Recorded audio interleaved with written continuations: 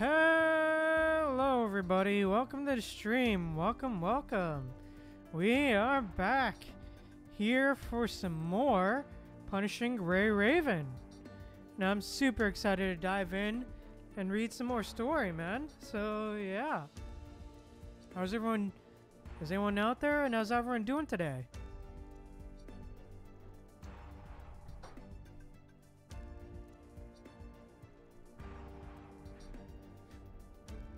Hello, everyone. We're back. Yeah, how's everyone doing today? Because I'm doing well. I'll be real. But yeah, second last stream before.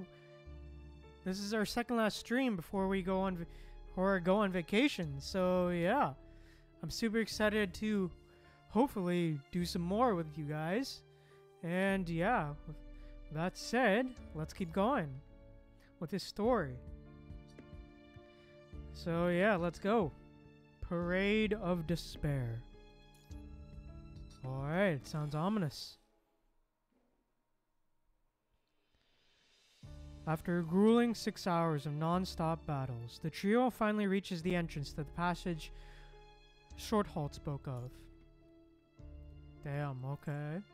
Counting the time spent backtracking through the debris for supplies, it's been over 10 hours since you awoke. If everything here is under Lethos' control, how long will it be until his final shot finds you? Well, that's ominous. Something feels off. What's wrong? Things are going too smoothly. Is this really a base of Lethos's? Lamia might not have even noticed herself, but she's becoming a bit more proactive compared to, to in the beginning. He probably doesn't even care. I've been in the area for almost a month, and it's always been like this. okay. Uh, maybe you're special to him? He clearly wants to kill me, but he hasn't caught up with this yet, nor sent any corrupted to stop us. Fair. Besides, the terrain is really terrain is really complex here, but you managed to find our destination without much problem. That's true. I thought we would have at least spent one whole day searching for the right path, yet we're here already. It's like someone's been guiding us. It's just the three of us here. Huh, who knows? There could very well, very well be someone else in a place like this. For example, a Lethos clone or a ghost of his. Or one of those big guys up there. Points upward at the swimming whales that clearly don't belong in the sky.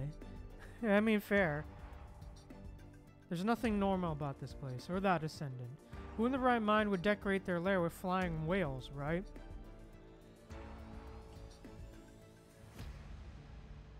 Perhaps it's the physical manifestation of someone's imagination. The amusement park and these whales, they're like a fantasy from the mind of a child trapped at the bottom of the sea. She lifts her head and gazes up at the whales swimming in the sky. Can Ascendant really do something like this? Ascendants skilled in disrupting or others' mind induce hallucinations using the punishing virus. Hallucinations are usually connected to the memories of the corrupted person and the Ascendant themselves. Sometimes they also use certain special methods. For example, in hospitals and laboratories, there are existing corrupted with similar capabilities.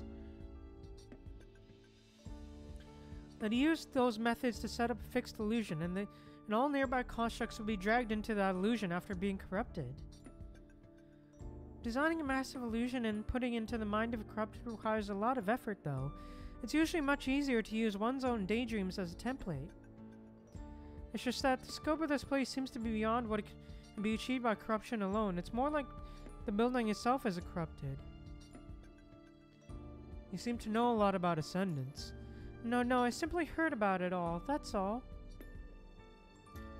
Could also be an illusion created by a large number of virtual reality equipment and corrupted. I'm more inclined to believe this explanation. Even during the Golden Age, many themed resorts would use virtual reality equipment as decor. Still, if this really all a projection, I'm sure it feel sure feels real. It's like I'm going insane. Plus, this place is ridiculously vast. Probably bigger than even an aircraft carrier. Could that purple-haired midget really have done all this alone? Maybe there's other ascendants involved. One of Luna's buddy buddies? Huh? No, according to the intel, these two agents are barely connected. I think it's highly unlikely. But Lethos is not the only one working under Vonnegut. Cathelia might be here as well. Makes sense. yeah. Let's keep going. We start by investigating that door. Oh, what door? Is there something wrong with your eyes? What? Upon closer inspection, you realize that you mistook the side of a fence for a door. Huh. Wow. We really are tripping, huh? Are you alright? He approaches with concern and grasps your arm with his rough palm. You try your best to hide your fear and disbelief from his scrutinizing gaze. Your eyes are bloodshot. How long has it been since you last rested? I've only just woke up not long ago. That does this doesn't make sense. Puzzled, he cradles your face in his hands, yet his soft touch immediately sends a sharp pain shooting through your left cheek. Uh. The skin he just touched has split open. Blood streams down from the wound and drips onto your chest. Schrodholt lets go right away, staring at his hands in disbelief. You. You touch your cheek wound tentatively, and a whole piece of skin peels off, landing in your palm. Eek! The corruption might be quite severe, must be quite severe. The serum shot you got won't last long. But it doesn't add up. If the severity of the corruption were due to the high punishing concentration here, Lily and I should feel it too. But see, as high as the concentration may be, it shouldn't be causing this much damage so soon. Maybe it's the drug that's causing this. No, they're already treating me as an invalid who needs to be looked after. Telling them would only make me make them worry more and slow down the whole team. Alright, bro. I'm fine. Let's focus on the investigation for now. Proper treatment only comes after we get out. Damn. She extends her hand, but hesitates and looks down. What's wrong? No, nothing. Forget it. Wow. Let's split up and investigate then. Lethos has been through three doors in the square. Let's each take that one. That should save us some time. Okay, I'll take the door on the far left. Uh, actually, let me take the left one. The previously timid Lillian suddenly blocks the door. I don't really mind, but why? Um... Of course, Lamia can't reveal the truth. She claimed the door on the far left because she sensed a path behind it that's filled with red tide. Neither constructs nor humans can normally enter such path. This makes it an excellent spot for Lethos to hide his secrets. Damn, okay. I guess I just have this feeling in my gut, like the door might lead to somewhere only someone my size can squeeze through or something. Alright, you go left then. Damn, okay. For some reason, this seemingly illogical statement immediately convinces Schrodholt. Hmm? We gotta trust our gut sometimes, after all. It's not like the two of us are especially partial toward the left door. Alright then. I'll take the middle, Commander. You go right. That door doesn't seem very secure, so it's probably escorted inside. It'd be a better choice for you since you're injured. He points to the door on the far right, making sure that you won't mistake something else for a door once more. wow. In, that case, Al... Wait, I think someone's coming. What, so you had had a scouting device on you all along? We'll talk about this later. Hurry and hide.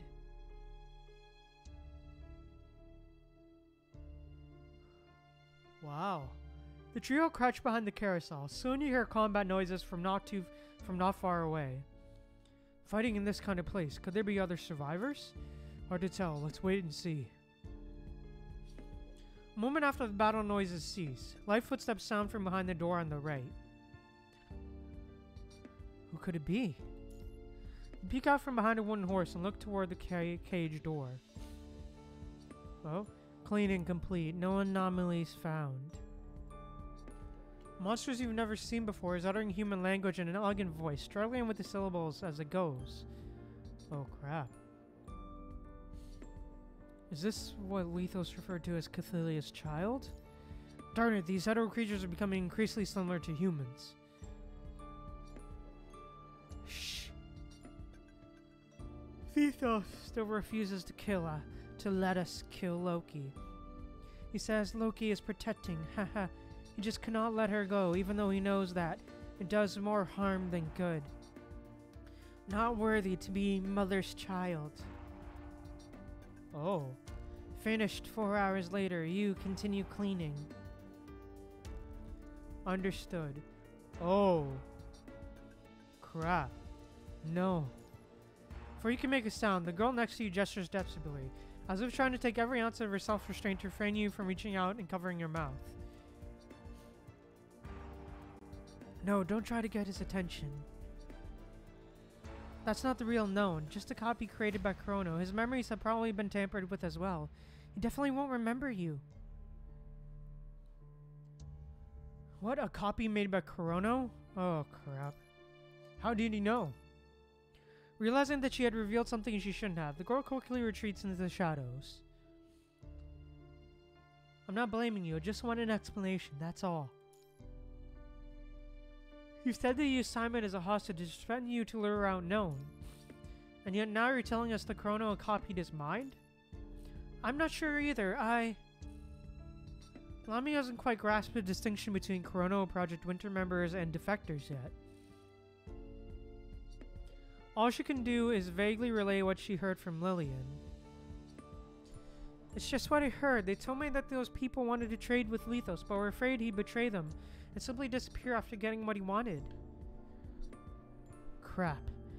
That was why they had to hand Lethos a clone instead of the real thing. After all, only the original person themselves can be cloned.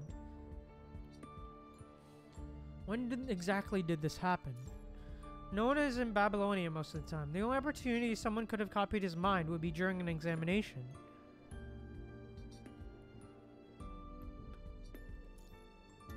Could there be members of the Purifying Force lurking within this Science Council?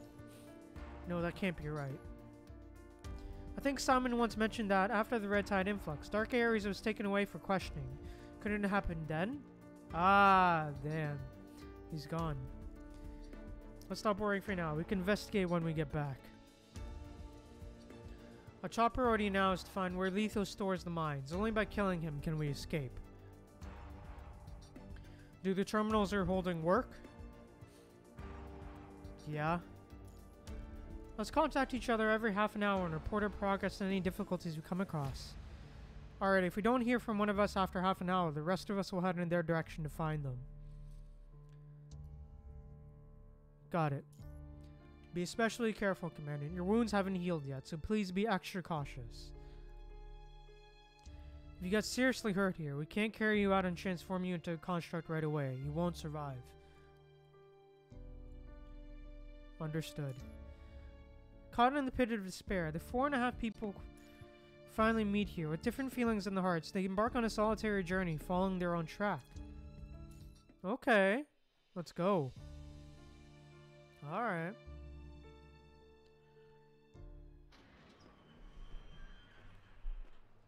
Oh. Eek. Red tide projection?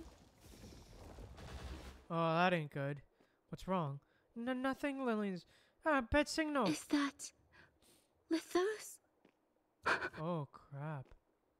Yo, what? All the joints were twisted. Yo, Some what? Lethoses looked calm. Ah! Wait, I got spotted! Ah! Don't come out of Lithos' red tide projection! It's like he's being. it. It hurts.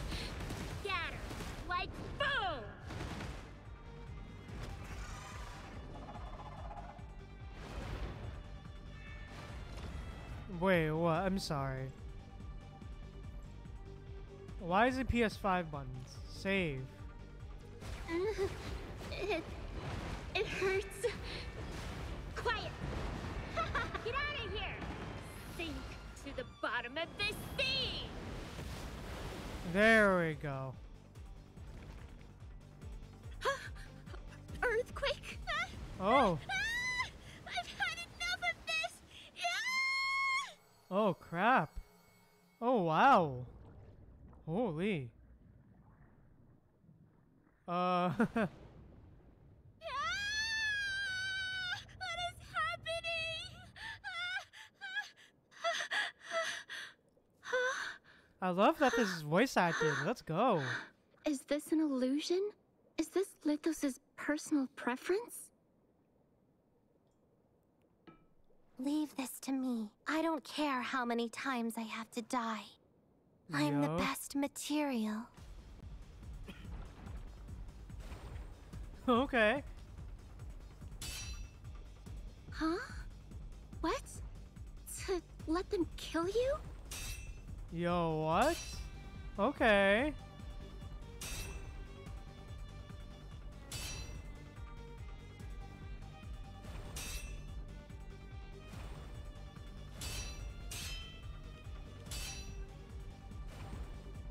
Come on. Yo, let's go.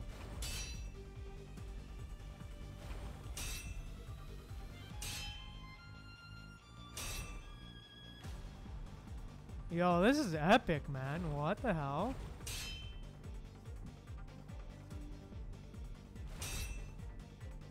Yo, this is so epic, man. I love it.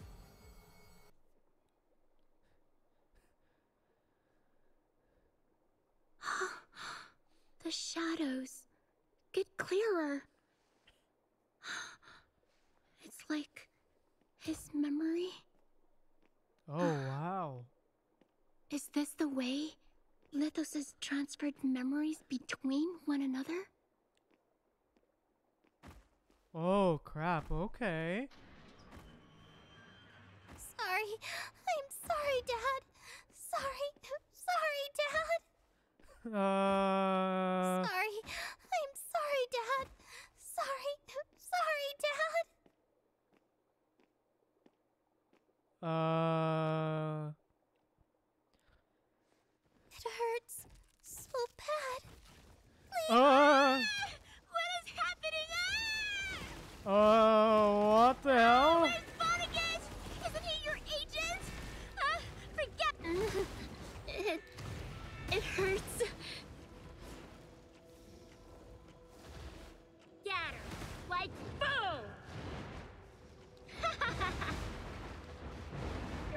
Okay.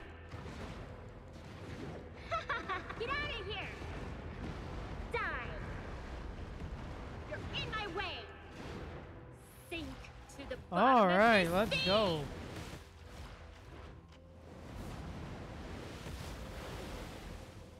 Ah. Okay. Oh. It's done. right? Oh crap. Oh. Whoa. Uh okay. That happened? Uh okay, that happened. Was not expecting that. Uh, okay, uh let's go move on to the next one, I guess. Uh wrong time rose. The second check-in. Looks like everyone's safe. Any new findings? All I found were research materials on the mine. I couldn't understand half of it, but picked them up anyway. We can bring them to Science Council once we escape. In those reports, I spotted in the names Kagawa Korono, Cinderella, Loki, Voodoo, and Cathelia. Oh, okay. So Kagawa Korono was also involved in Project Cathelia. I'm not at all surprised at that. What exactly is Cathelia? The beast that birthed the twins, you know, the thing that's like a giant heart. That's Cathelia's incomplete form. In plain terms, it's her womb, just on legs. Oh, huh? Yeah, it's kind of creepy. Here, it's all in the files. They also mention Loki and Voodoo. We have very little information on her anyway, so this is quite a useful find. Shirthold waves the newfound documents in front of the screen. Let me see. Loki. A test subject found in the basement after Project Athelia ended. She had been in prison for years due to aggressiveness and consciousness damage. In the concealed basement, she was left behind when all related personnel were cleared out. When they found Loki, she was ramming the cell door nonstop. Her head was severely wounded and it was too late to do anything about it. All I could do was preserve her mind data with Mister's help. Loki. Loki's mind data was also damaged damaged when her head was injured, forcibly implanting it into an into a body would only create a completely insane being. But I don't want to give up on her. Her state of consciousness is quite similar to Cathelia's. I hope to find a way to stabilize her condition. This will not only save Loki, but also Cathelia. Loki. If one's consciousness is not strong enough to keep their body stable, then it's better to grant the body another consciousness instead. Mr. to me obtain consciousness fusion technology from the humans and use it on her. The person who received the opportunity was someone from the Athla Commercial Alliance, said to be an abandoned illegitimate child of Ashlar's. Oh.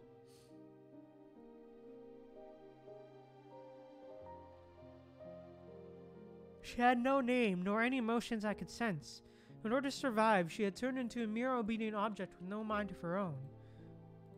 Voodoo 001. The experiment was a success. She became Loki's new vessel, the host of all her uncontrollable emotions. This method can definitely be used to awaken Cathelia, for her consciousness also suffers from similar flaws. Next, all I need to do is wait for the gospel to arrive, and Cinderella's wish will be fulfilled. Mister praised me for this. If only these studies could be more be of more use to him. Looks like some records left by Lethos. After all, this place is an old haunt of his. Naturally, everything left behind must have belonged to him. Right, by the way, I also saw a name in some of the files that caught my attention. Whose name? Kilgore Trout. He was famous back in the Golden Age, a psychiatrist, psychologist, author, and murderer. Have you heard of this name before? No, who's that? You don't know him? He was practically a celebrity. It's not that abnormal to know much about the Golden Age, but why do you know, know so much about it? I was a police officer before becoming a construct. I've worked on both Project Athelia and the case of Kilgore, Kilgore Trout. Shorthalt's expression dims. Project Athelia was especially memorable. It was tra- truly tragic. That accident. Accident, oh, is that what they call it outside? Wasn't it an accident? Of course not. Also, the purpose of the project might have been as far not have been as far fetched as publicly claimed. Oh, okay. Huh. According to our informants, the purpose of the project might be to create war weapons and divide the world government once more. Well, that's not good. so the purpose was war? Indeed, it's nothing new. Ambiri in the ARU was the victim of a similar situation as well. Damn. Wow, who knew it was all connected? We were so close to catching them in the act, but the day before our operation, their incinerator exploded, setting the whole research building ablaze. An incinerator, an incinerator explosion, huh? Yeah. Something must have gone wrong in the last experiment, causing all the subjects to go mad. In turn, they beheaded the researchers and stuffed their heads into their own stomachs. Wow, that's gruesome. Shorthalt speaks with a scowl. By the time the fire is extinguished, the area around the incinerator was littered with executed subjects, all of them burned beyond recognition. The rest, they were headless scientists with swollen bellies. Eek! Some speculate that this incident might have been connected to the Professor Kilgore Trout in some way, even if he was already dead by then. It could have been a copycat of his who was involved. There wasn't much we could do about it as we didn't have any concrete evidence, but now to see his name again in such a place. Why do you think that this professor had something to do with Project Athelia? Because, well, see, the goal of Project Athelia was to have the dead be reborn again in this womb of this, in the womb of the subjects. The way those scientists died, with their hands stuffed into their stomachs, it was like these killers' way of declaring, if you people want to rebirth this much, then do it yourselves. Similar failures appeared in Kilgore Trout's final autobiography. I still don't see the connection. Uh, it's a bit complicated to explain. Let's talk about it later. Okay, you find anything, Lillian? I saw a lot of lethal remnants. Some mechanical parts of his frame, limbs, torso. There's red tide projection too. Perhaps he died way more times than can be counted on two hands. The red tide projection keeps showing how he looked just before his death. Oh. Can Ascendant inherit memories through the red tide and the remains of their own physical form?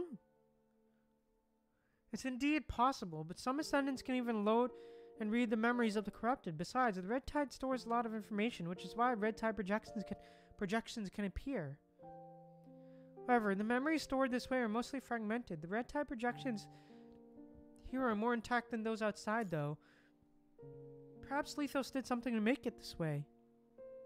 Oh, wow. Oh, also, the red tide projections shown later are very calm, as if he had died by suicide. Suicide? Why would he resort to that? If a large number of stable minds are originally needed for Project Cathelia. Being an ascendant, Lethos is the perfect material. But Lethos is no victim. Would he really be willing to sacrifice himself? It's too early to draw conclusions right now. How are things on your end?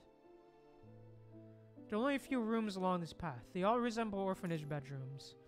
Orphanages also have also become hotbeds of legal activity. The higher ups, in order to keep birth rate from getting too low, lighten the punishment for child abandonment crimes after setting a bunch of, up a bunch of new policies, and they also invested in the construction of multiple orphanages. Damn. The initial intentions might have been good, but the execution left much to be desired.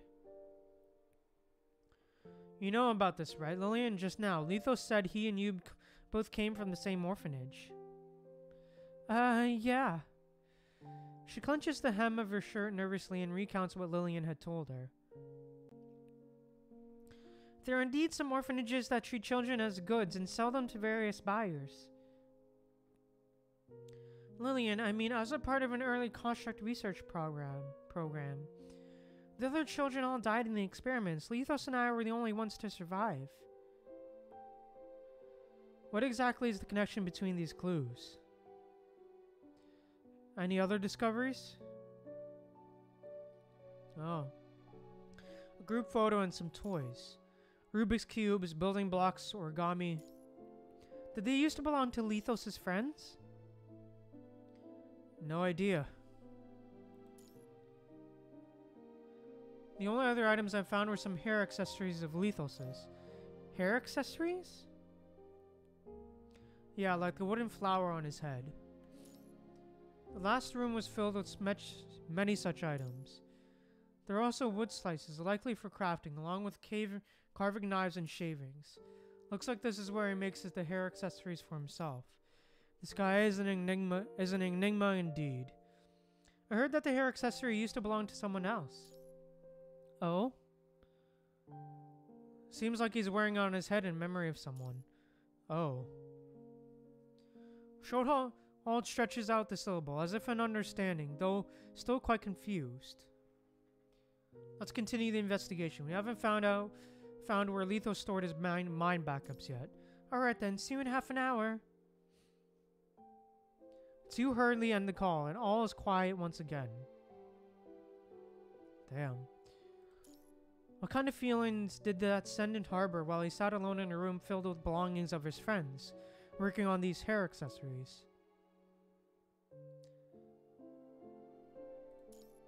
No matter how you look at it, it's just an ordinary wooden, ornament. There's nothing special about it.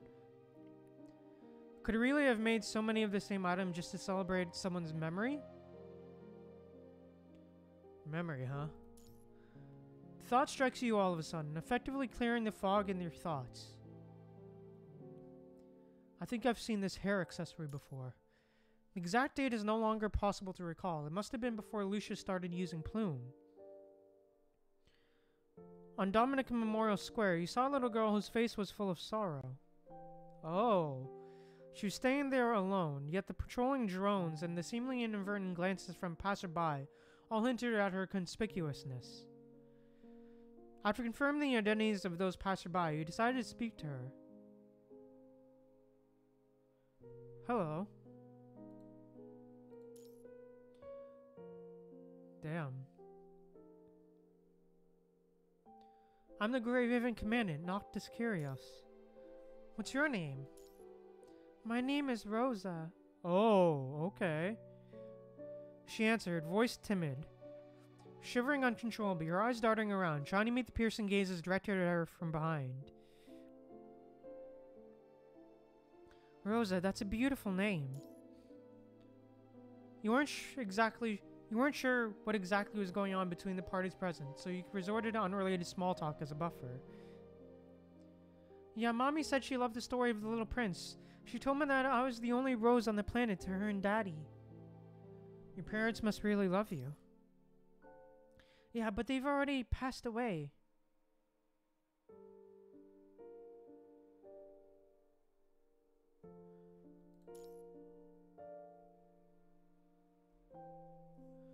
Sobbed quietly. She sobbed quietly, speaking in barely audible voice. Um, was it you who sent me the message? Message? No, I'm just... Rosa, what are you doing here? I'm Petra? I'm so sorry. I... Oh. Stand protectively before Rosa. May I ask who you are? The woman in front of you scrutinized you with a stern gaze. You must be Vanessa's classmate, the chief from F the FOS. Oh, Vanessa's mom. Okay. Good day. I was indeed a classmate of hers. I'm Vanessa's mom and mother. So she's mentioned you mentioned me to you before? okay. No, I saw your graduation photo posted on FOS's public subscription account, that's all. Oh, are you Rosa's current guardian? No. Despite her heavy sorrow, the little girl spoke firmly, clutching the hem of her shirt again. Shirt tight. Oh, it's Rosa, right, right, right. But Mommy did tell me that when she was a little girl. Aunt Petra's grandfather took care of her. Oh, Rosa is related to Vanessa. Okay. Alright, let's get out of here, Rosa. What are you standing around here for? No. Rosa refused to come out from behind you, still sounding rather timid. If you're not her guardian, I'm afraid I can't let her go with you. No matter what, my connection with this child runs deeper than yours. Impatient laced by the laced the lady's tone. Her mother was taken in by my grandfather during the Great Evacuation. He believed she must have a distant relative who got separated from her parents. Damn, okay.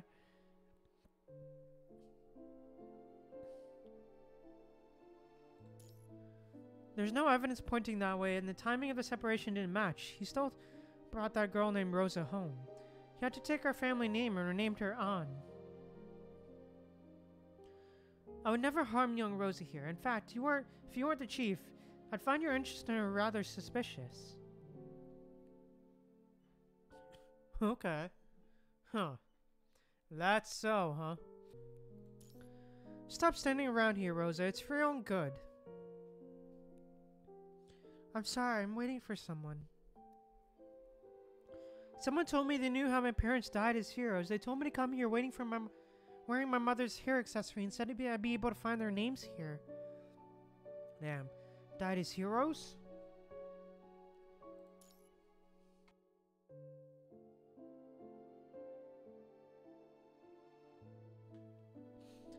Anne and Rand died in a household appliance accident right on your birthday, right in front of you, no less. Have you forgotten? Oh, crap. The names carved on the Dominic Memorial Square are all of the heroes who perished on the battlefield. No way you'd be able to find their names there. Here. Who would deliberately fool a naive child by sending such a message? She raised her voice, gripping Rose's shoulder tightly, as if in warning. Damn. Following her words, Rose's tears began pouring down her face like blood from a wound, and she seemed to have lost the strength to sob out loud. I'll take her home. Can you trust me at this? This? Fine. Petra, tucking a strand of hair behind her ear, a gesture that reminded you of Vanessa, turned around to leave. Ayo, oh, okay.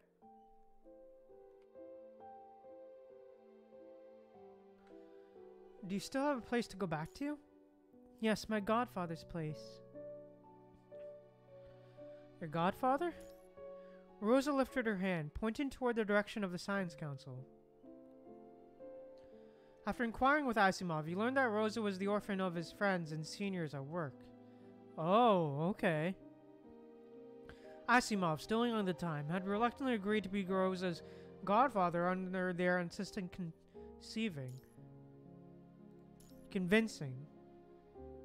Oh!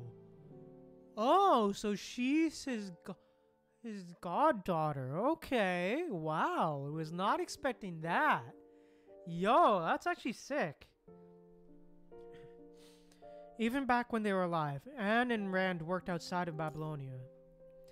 Rosa grew up lonely, with domestic robots at home as her only company. Under their guidance, she picked up a lot of concepts, quite advanced for her age. She was a true prodigy, possessing an astounding amount of talent beneath her youthful exterior. Despite her age, she became a capable assistant of Asimov's. Asimov declined to answer any further questions. Long after that, Lucia mentioned the dossier she saw and the intelligence she had gathered. She spoke about the Ascendants connected to the Ravage, about Project Winter, and about An and Rand, Science Council members who died because of it. Why did Asimov look so sorrowful when those two were mentioned? Why would they, members of the Science Council, not work in a safe location such as Babylonia? Or was there perhaps no longer any need to hide the true allegiance of the deceased? Encrypted dossiers don't lie. They present a reality utterly uncontradictory to what he thought was the truth. Died in a household appliance accident, huh? You now have a vague answer to the question he refused to answer that day. Waking up for your reverie, you look down at the plain hair accessory once again. You didn't notice the hair accessory back then, but now it seems like that there might be a connection between Rosa and Lethos. Damn. Okay. Think this over later. Tossing the hair accessory aside, you turn and set off toward another unexplored area. Must find where Lethos stores his memories to defeat him once and for all. Can't keep everyone waiting for too long. Damn, okay. As the human silhouette disappears at the end of the corridor, the discarded hair or accessory rolls off the table and begins to spin along the floor. Wherever it touches, red tide seeps out from underneath the walls. The remaining red tide projections, as if phantoms in a haunted painting, keep repeating the words from their owner's memories. Oh. It's useless, no matter what I do, mister, they leave too soon. Left too soon. If one day I manage to create a vessel for the deceased consciousnesses, Though if no consciousness left for me, I can't save them. I once naively believed that Rose might still be alive, but that was just wistful thinking on my part. Mister, I want to go help them. Oh, crap. I know you don't like that project, but I believe it can help more people. Hey, Celestial! Wel welcome, child! Welcome, welcome! Welcome to the stream! I'm good, how are you? You said that your current goal is to still help us survive the disaster by the punishing virus. One can't fight against disaster without a good amount of strength, so I'd like to share some strength with humanity. I don't want to see more people forced to face the same pain I did. If you're worried that they will control me, they'll abuse my powers and expose our secrets. Please, implant a seed in my body that can kill me at any moment. It's alright, you saved my life, so of course you can use and kill me at will. yeah. Well, I hope you had a good rest. had a good rest, Celestial. I'm so glad you can join the stream. but yeah, as you can see, we're doing more. we're currently in the middle of more story. the accessory hits the corner of the wall and stops rolling. The red tide projection is stirred up, also disappears in the cracks of the floor into the cracks of the floor, like its ill-fated owner. All that remains of it are blood-red flowers blooming in the corner. Yeah. Well, I'm glad you and May will make it, Celestial. Well, damn, okay. That was a lot. and intense. I won't lie to you, man. Wow. But yeah, we're back, and we're here to continue the story. And I'm super excited. So I'm glad you can make it, Celestial. but yeah, with that said, let's keep going. And man, that previous node was intense, dude. Learning more about Rosa and meeting Vanessa's mom, wow, okay. oh, just wow, man. That was just crazy. Alright, let's keep moving on. Caught right on. Let's go.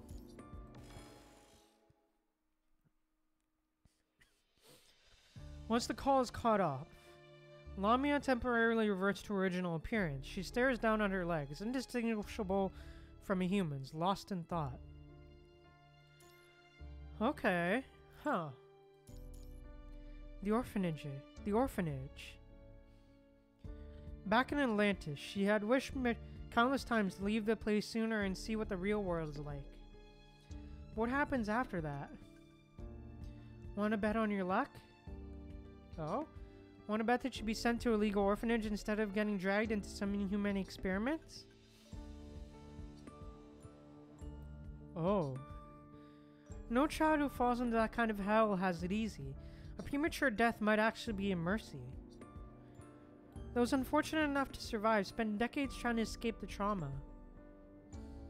Personally, I think compared to those people, ascendants aren't so bad. Oh, really? With a bitter smile, she handed over her identity to Lamia. Lamia wanders absentmindedly along the corridor, preoccupied by past memories. Gabriel's disappearance didn't phase her.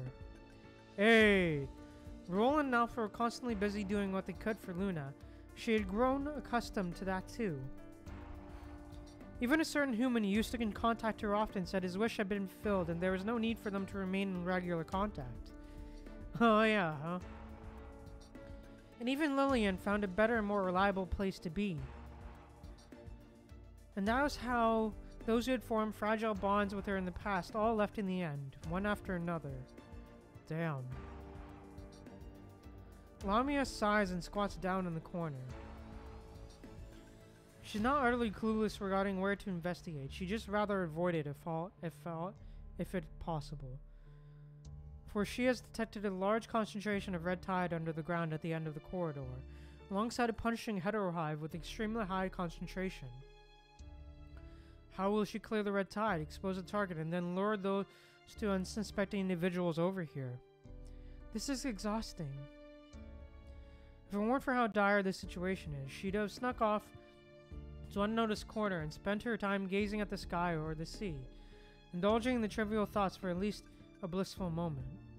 Damn. Can't rest now, must come up with something quickly. Though she is determined, her body refuses to cooperate. Okay. Lamia sighs again, looking down at the basic terminal they gave Lillian, and then it's and the mermaid's hand holding it. There are many dangers here, just like the Grave Commandant said. Cooperation is essential to defeating Lethos and possibly escaping. Lamia was included as a part of the team under Lillian's identity, but all that was just a lie after all. How much longer can she keep this lie going? Once exposed, she'll be attacked from all sides.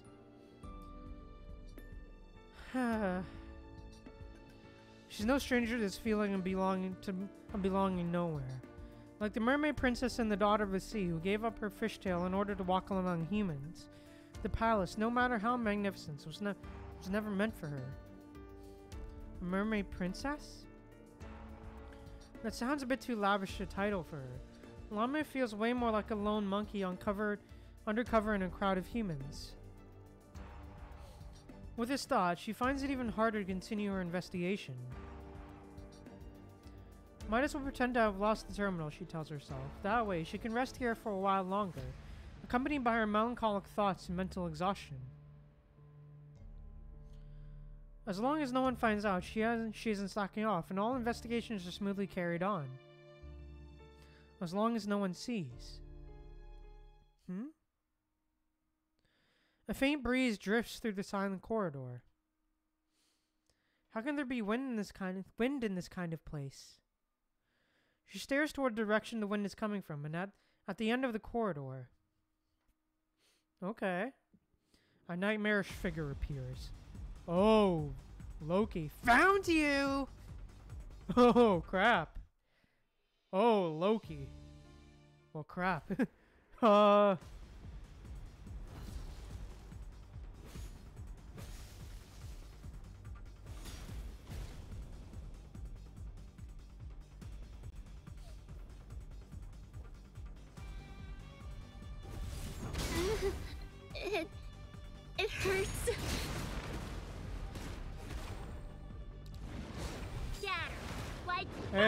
Go. Get out of here!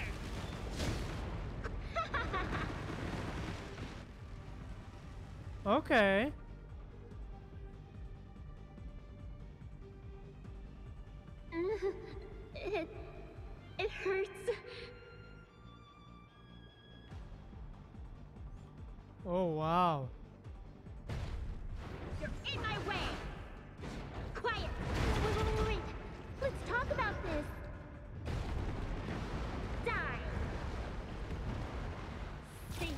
Okay, wow, damn.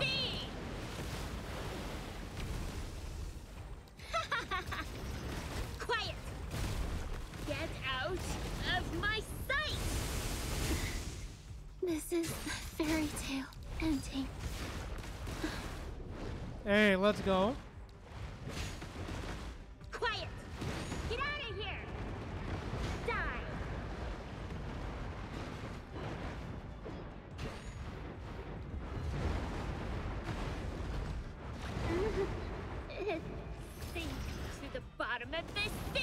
Let's go.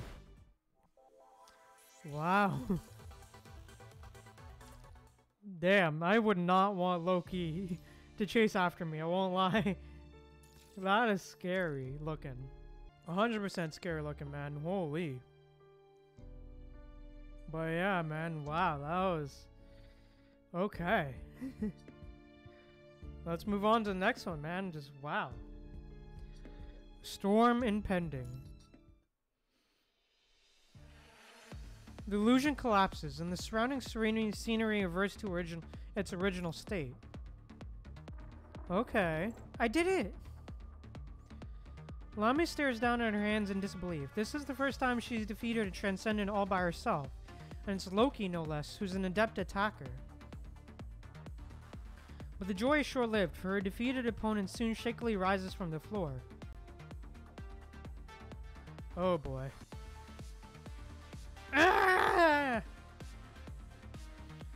As if spurred on by her own cries of agony, Loki expands her battered wings, struggling to ascend into the air in the narrow tunnel. I'll kill you! I'll kill all of you! But no one can ever hurt me again! You're the one who attacked me first! Loki can't hear Lamia's process amid the chaos. Driven by rage and despair, she charges at Lamia with all her might. Let me go! Let me go! Let me go! Is she hoping to escape from this cramped cage, or has she grown tired of this body she's imprisoned in? The crazed goose's actions seem to be dictated by her overflowing pain. Even though she clearly sees Lamia dodge, she still chooses to charge in the same direction nonetheless. Yeah, it is super intense, Celestial. Oh. Oh wow, literally clashed through the wall, huh? The force of the ramming tears apart her already shattered frame completely. The caged goose, finally having nothing left to give, sinks into her mother's embrace along with the crumbling floor. Oh crap. What is that? Yo, the art. Foamy red tide splatters everywhere, revealing her face as serene as a statue. In her embrace, Loki's cries gradually weaken, her unquenchable fury dissolving under this bizarre giant tree like a pill in wa- water. Whoa. This is crazy, dude. The art. Holy.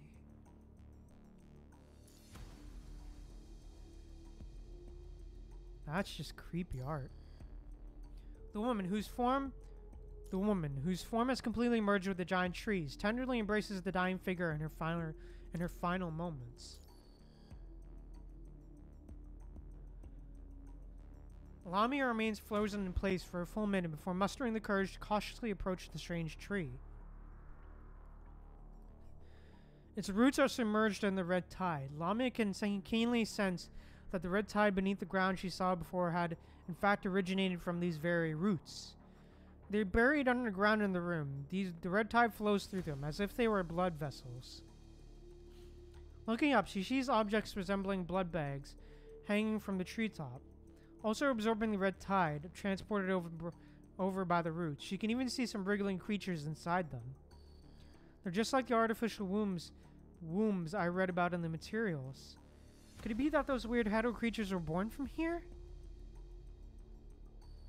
She steps into the red tide, hoping to pluck a bag for closer observation, but a strange twitching from underneath her feet nearly drags her underground. Eek! She shoots up in horror and flees the area, narrowly escaping behind the entangled within the roots. Lamia senses buried secrets below and realizes the need for a deeper investigation into the red tide's disturbance. However, the sticky feeling clinging to her legs makes her utterly unwilling to approach the spot again. She looks around, hoping to find something else she can investigate. Okay. Oh, wow. Soon she notices that the walls are covered in honeycomb shaped metal shelves, resembling cremation furnaces.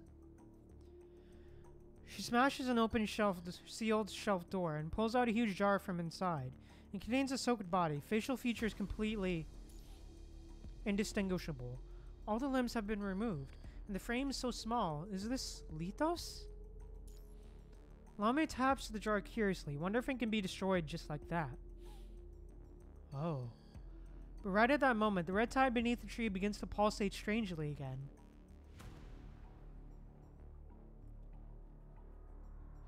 Oh. She knows she just can't keep dragging it out. Lamia seats her weapon and reverts to Lillian's form. She pulls out Lillian's makeshift terminal, ready to call for Lillian's reinforcements. Ah. Perhaps from the impact from the previous battle was too great, or the quantity of the makeshift terminal was too poor to begin with. No matter how Lamia fiddles with it, she gets no response. Is it broken?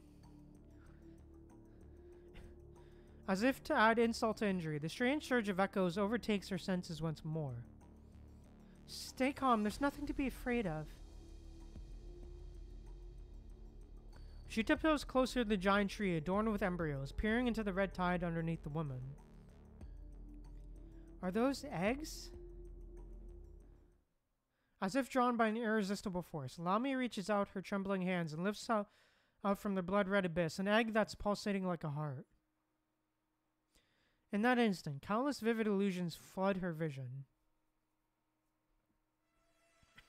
It's over, Grey Raven Commandant. What are these? Memories or a vision of the future? Did I kill that human? Oh. Lamia's head throbs in pain, consciousness nearly torn into pieces by the mael- maelstrom of information. This is mine. I'm not giving it to anyone. Hey, yo, the music. Let's go. The heavy sensation in her hands. It's like holding a baby. She's losing control, losing control over her body. Her consciousness flowing out of her skull like water. Rest in peace. Join Cathelia in your eternal, your eternal grave at the bottom of the sea. Now that I have the key, I won't have to worry about anything anymore. Oh crap. No, no, this isn't right. The mermaid has turned into a marionette who has surrendered everything to the monstrosity in her hands. Oh crap. This is the punishment you deserve, Ascendant. The empty eyes are filled with murderous intent. You should already know that. Even if you obtain the key, you still won't be able to reach the tower's summit. Yeah, you still... final gunshot brings inevitable death. She's dragged into the boundless darkness by ice-cold waves. Only to open her eyes again under the ghastly fluorescent lights of a medical room. Oh, this is from Last Spark. Yo, okay. Is that Mother? The woman's body is covered by green surgical drapes, her exposed wounds haunting, hauntingly ghastly. Doctor, this is Libya's child. It's a girl. No, this isn't the time to look at me. There's another person over there. Save her! Please save her! Yet memories are incapable of giving a response. Mother. She steps behind the curtain and extends her hands toward the lifeless body. I finally returned to your side. Please take me back. Let me return to your body. Don't leave me. Please love me. Please love me. Oh. If you could give birth to me once again, this time I would surely do better. Her pleas stir the emotions of the being closely inter- entwined with her, creating a sense of sorrow and yearning that binds the two even tighter together. That's right, just one more step forward. Closer, closer. Just one more step forward, and she'll be able to touch the monster mother she never met and become one with her. Hey!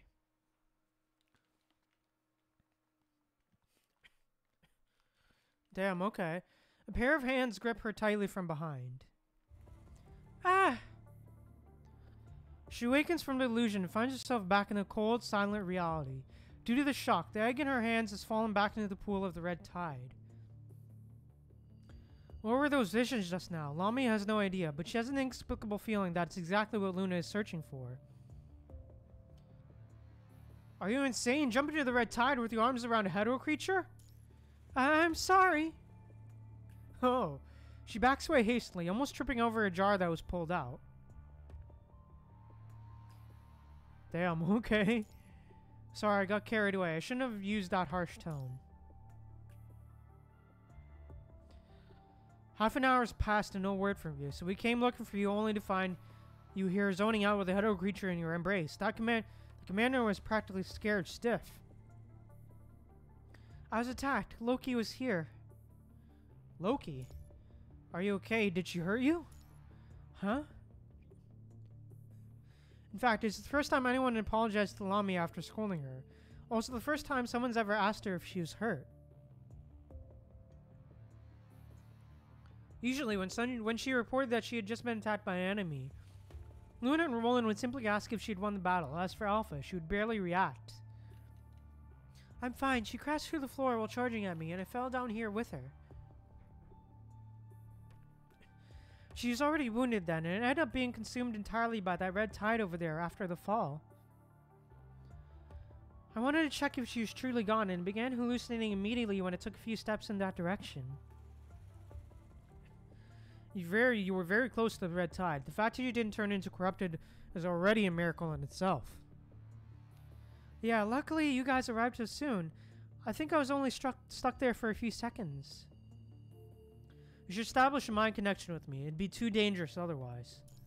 No, there's no need.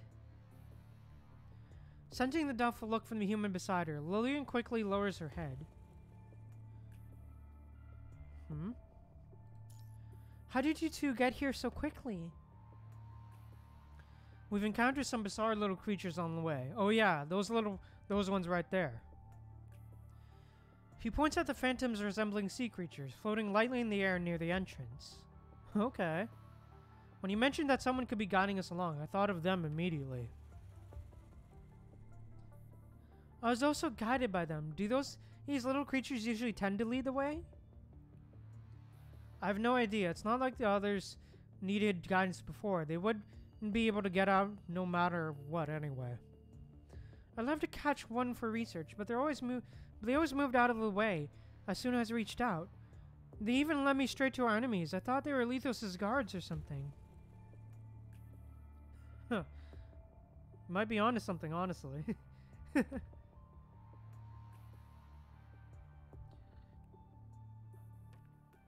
oh, they moved out of the way? Huh? They didn't do the same for you? You raise your hand and those jellyfish-like phantoms come swarming over, circling you gently before tenderly touching the wounds on your hand. Wait, don't move. She tiptoes over, just as she's about to pounce upon one. They immediately vanish without a trace. Aw. Let's not worry about those harmless things for now. They seem like the commanded, commanded only. It'd be pointless to capture them. Look at this. These descendants are surely getting more twisted by the minute. What is this, anyway? From a safe, safe distance, he fires a few shots at the woman who's become one with the giant tree. The holes created by his shots only remain for a moment before automatically healing up. Shorthalt fires a few more shots, only receive the same result. Just like what happened with the twins before, it heals way too fast. Could this be the Cathelia that Lethos mentioned? Most likely. We just can't leave this thing be. The situation outside, we absolutely wouldn't be able to withstand a second disaster brought by the twins. I agree. Do you still have those electromagnetic pulse bombs on you? Of course, those are the most precious treasures I've got during my month of wandering here. I've blown up this place countless times in my dreams. Damn, okay. But you still haven't found Lethos' mind backups. Should be on those honeycomb cabinets all around there. Hearing your words, you and Shorthalt immediately gather around the cabinets. This contract has nothing but a torso left. This should be it. Nothing but a torso, huh? He pauses for a moment, then he suddenly barks out a dry laugh. What? Nothing, just suddenly remembered that was how I looked too when I first woke up. Huh? It's fine. I've already reassembled myself. Let's continue dealing with the following issues. I owe a thank you too, by the way. Not only did we find the main target, but we also discovered Cathelia. This is a huge win for us. You really helped a lot. Really? Of course. Lami is hit with a brief moment of joy, just like back when she was given a coffee coffee cup toy back in the day. Now that we found the target, let's get started. First, we dig out the stuff in the cabinets. Those little ones have limited power. Okay. Shorthalt, Shorthalt pries open several cabinets in a row to check their contents while the two behind them stand waiting. Are you guys just going to stand there and, rem and reminiscing over your glory days or something? Come and lend a hand. What? What? I wasn't... Lami had just begun to relax due to the praise she just received, and the fact that she hasn't been busted yet tenses up once more. Sorry, I'm coming. You've already helped a lot on the way here. You aren't fully recovered yet, so take it easy. Lillian, come help. feel like a bodyguard and nanny at the same time. It was just like this when I was back in Scarab, and things haven't changed one bit. Lillian approaches timidly amid Shorthalt's complaints. I heard that in thriller movies, the most reliable character is always the one who dies first. Huh, you cursing me now? Uh, no. She expects Shorthalt to laugh it off, Yeah, he simply pauses working and heaves a long sigh. Who knows, that might exactly be exactly what happens. For some reason, I've been feeling a strange sense of deja vu during this journey, journey with you two. As if this isn't the first time I've done these same things. As if this isn't the first time? Forget it. I just find the paths here eerily familiar, that's all. Huh. But everything feels alien again now that we've reached this point. He subconsciously touches the pocket holding his candies, now entirely empty. I remember that Valeria gave me a whole pack. There were over a hundred candies in there, but I recall only recall eating two. Ooh, and giving you one. It's likely there's a piece of my memory that's still miss that's missing. I also don't understand why Lethos left me alive. He could have easily killed me here. After thinking about it, I've decided that there's only one possibility. It can come still come in useful as a part of his plan. Damn. Useful, huh?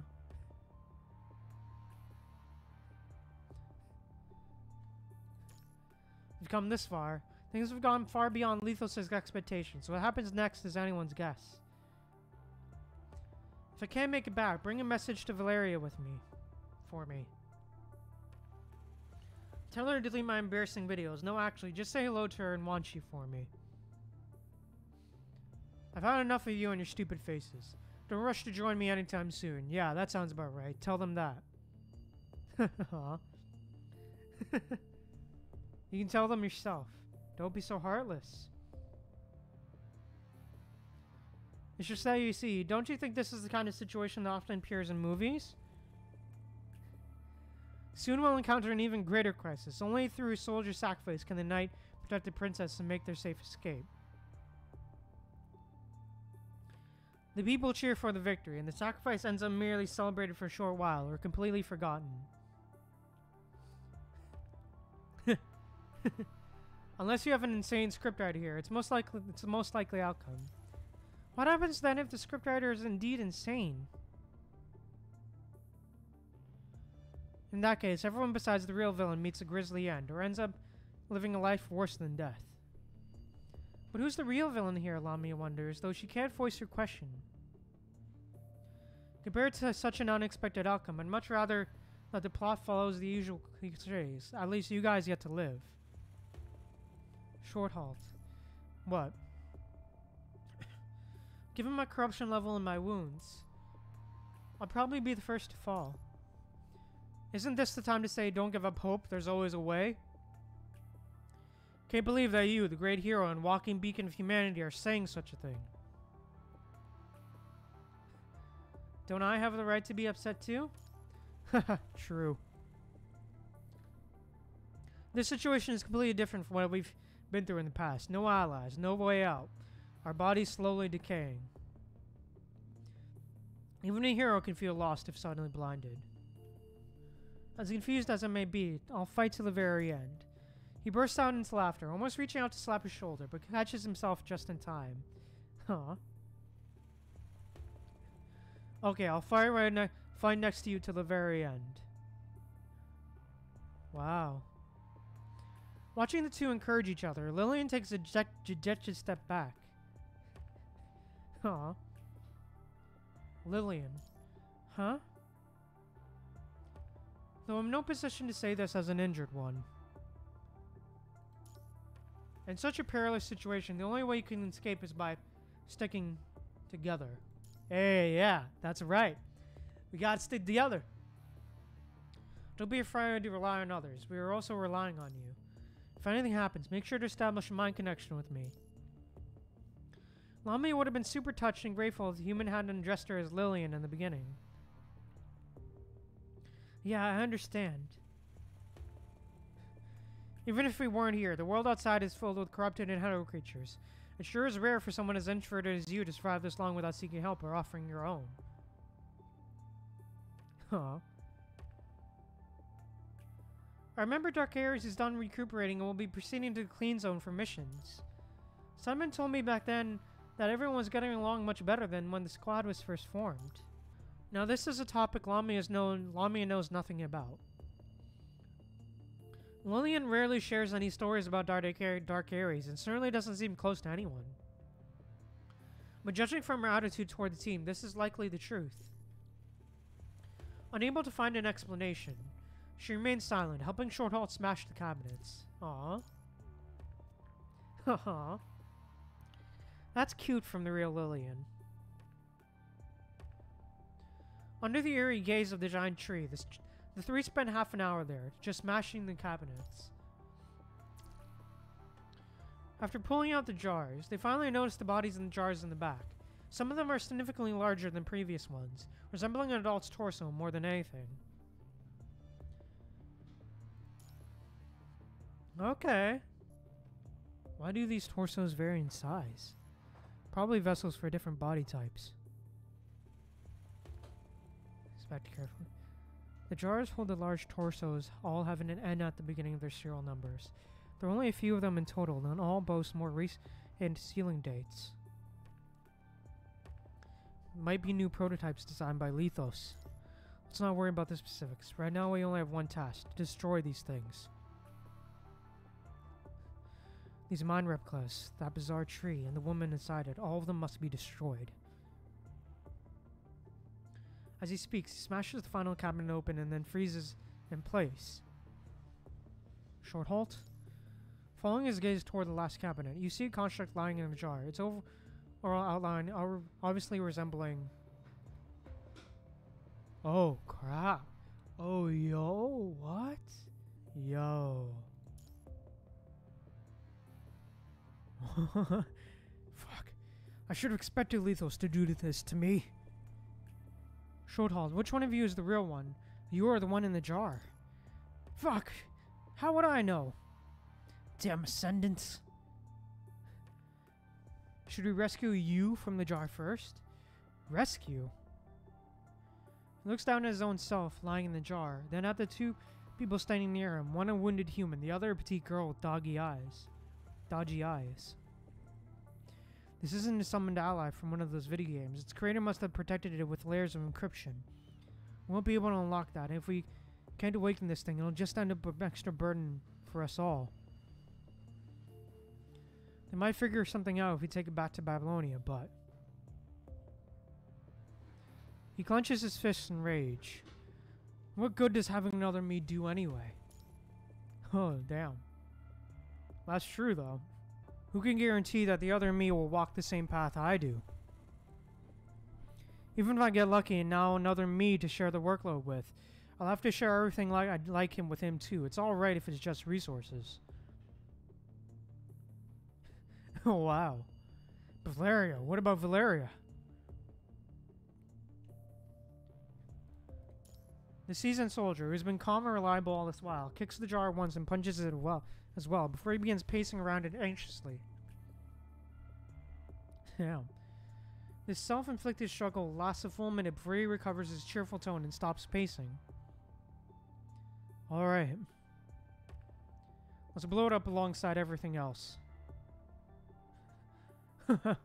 but to hell with these philosoph those philosophical questions. Who cares if it's the real me or not? I'm the one who, of, out of the two, is conscious now. The one, who can make decisions. What does that tell you? It tells me that I'm the real one at this current moment, and nothing else matters. Damn. Let's go ahead and do it. The bombs I've been saving up for so long are finally come, going to come in handy. Shorthalt drops his, drops his backpack on the ground. Yeah, let's get to work. Oh, but all that aside, can we really kill her this way? This place is filled with swarms of red tide, and how creatures can regenerate easy if there's easily if there's a red tide in the vicinity. She glances sideways at the giant tree. The woman inside the tree twists and turns slowly, as if trying to break free. Isn't destroying Lethos' mind replicas enough? Escaping as soon as we can is what matters the most now. Escape? Escape where? Once the thing, this thing gets out, this whole world will be thrown into chaos. He's right. Now that we discovered Cathelia, we can't let her leave. There's no turning back now. We just can't think of ourselves. We must stop the disaster from happening here and now. Okay. Start assembling. Quickly. Yeah. Though uneasy, she reluctantly compromises. Oh, wow, huh? Damn, okay. Huh. Yo, that's actually insane. Like, finding a copy of yourself that way is actually like... Dude. That's actually kind of... That's actually super messed up. Like, jeez. Holy. Like, damn. Like, okay. Just wow. Like, bro, damn, dude. Anyways, let's move on to the next one. Unleash Torrents. Let's go.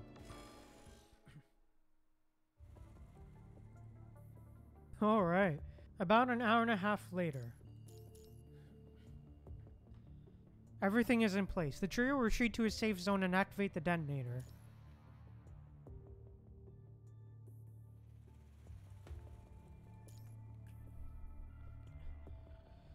With a loud bang, the giant tree and all the replicated memories stored beside Cathelia turn into ashes in a blaze.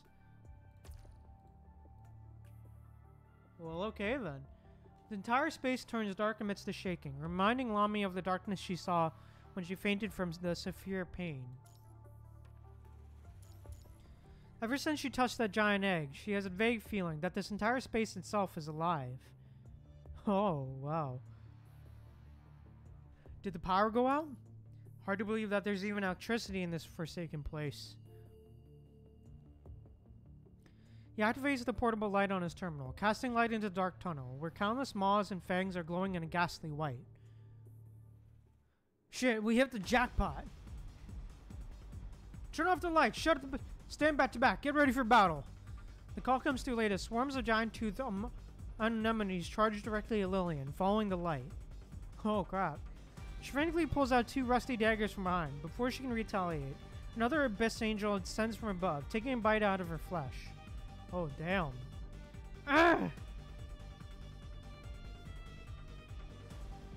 Sharp teeth pierce through artificial skin, leaving a patch of crimson blood on her back.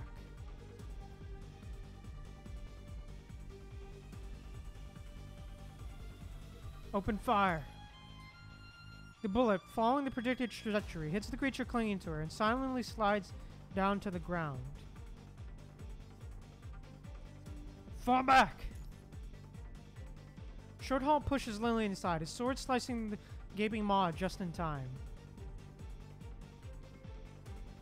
Shorthalt, you still have a few grenades with, left with you, right? Just one left. Toss it and keep quiet. With it, Shorthalt immediately tosses the grenade he'd been holding to cover the two retreating behind him. Okay. The grenade explodes in a blinding light.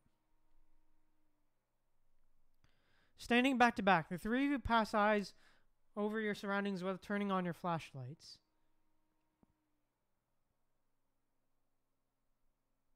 Click. Damn, okay. The griff sound echoes up down from the stairs. Click, click, click.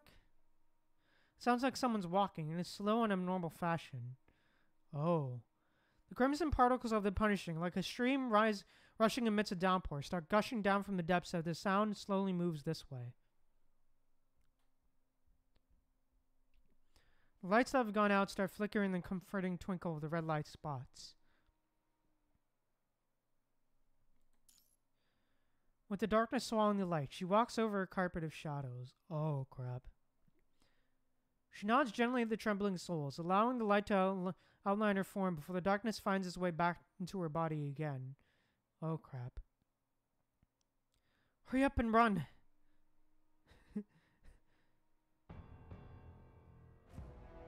We're stuck. There's nothing but these monsters from earlier back there. Oh, crap. And the music, too. Oh, God. We need to get rid of her here. She's going to join Lethos and have us cornered if we can let her get away now. We haven't figured, but we haven't figured out her, her attacks.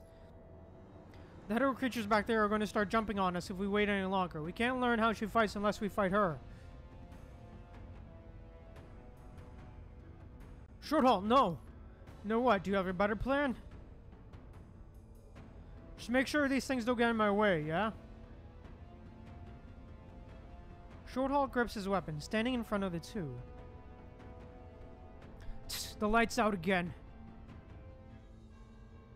Shorthalt raises the gun he's been holding and takes aim at the shadow lurking in the darkness.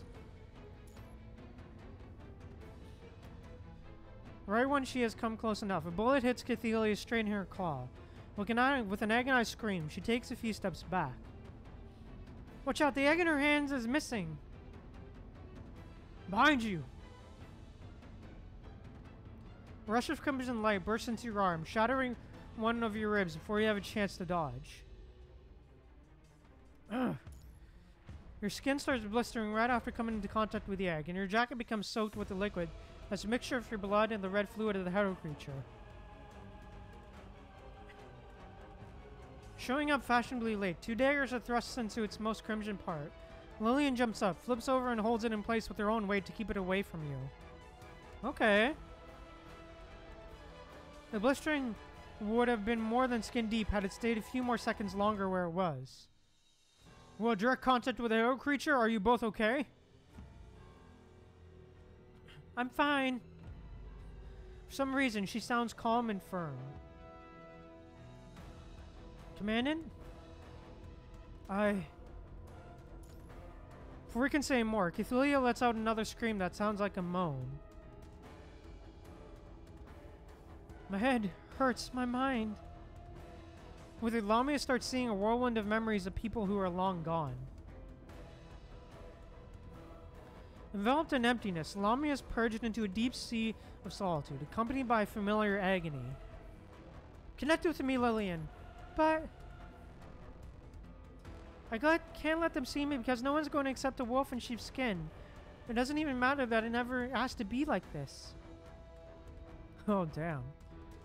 While the chaotic memories trap her on the spot, the egg breaks free of her dagger and returns the to the embrace of its mother.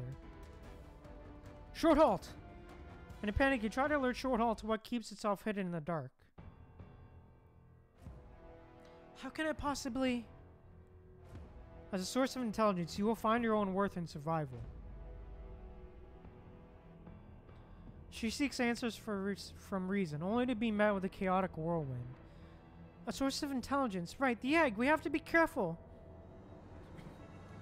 You've been playing you've been paying extra attention to that thing for quite a while now. Because it uh my head still hurts so much. A predator that has its eyes on the target, it changes charges straight at the now defenseless human. Block with an arm. The egg charges at the human again, and with seven of its punishing stingers, pierces the human's arm. She fires several shots at the twisted creature, which successfully drives it away and screams and splatters with blood. Runner, you're gonna die! Or you're gonna die! We can't do that. We can't just let her go like this. There's no going back now. We have to stop her here once and for all. Ugh. The pain is so excruciating that it all but knocks you out cold. Though it doesn't seem like the world wants you to go any easier on you. Commander, get behind me! Why would anyone not want to live? Have you all gone crazy? Light once again returns to the world around you, and that's when you see Short Halt. Oh, crap. What? Oh. But before he even lets out a scream or bids farewell to the world, Short Halt shatters into pieces right before you and Lillian. Yo, what? Short... Oh, crap. Oh, crap. Oh, God. Oh, shit. Yo. Holy shit. Sure. With its Short Halt's vital fluid and mind splash into, onto Cathelia. It takes less than a second for the fluids to seep into her body. How could this be? The ground wriggles and swallows the pieces that were once Short Halts. God, no! A man who once fought for the past and future and for Valeria, who once looked out for the other, you had made its way back to, uh, to the womb of Mother and Earth in pieces. Without leaving so much as a trace. Wait up there! Wait up, there! What? Lillian pushes you out of the way before there's even time for you to react. The two of you tumble toward the corner in confusion. The egg is coming this way again. It's flying and it's super fast. The girl struggles to get back on her feet and falls onto the ground, She's trembling in fear. She has to lean against the wall behind her to keep herself from falling again.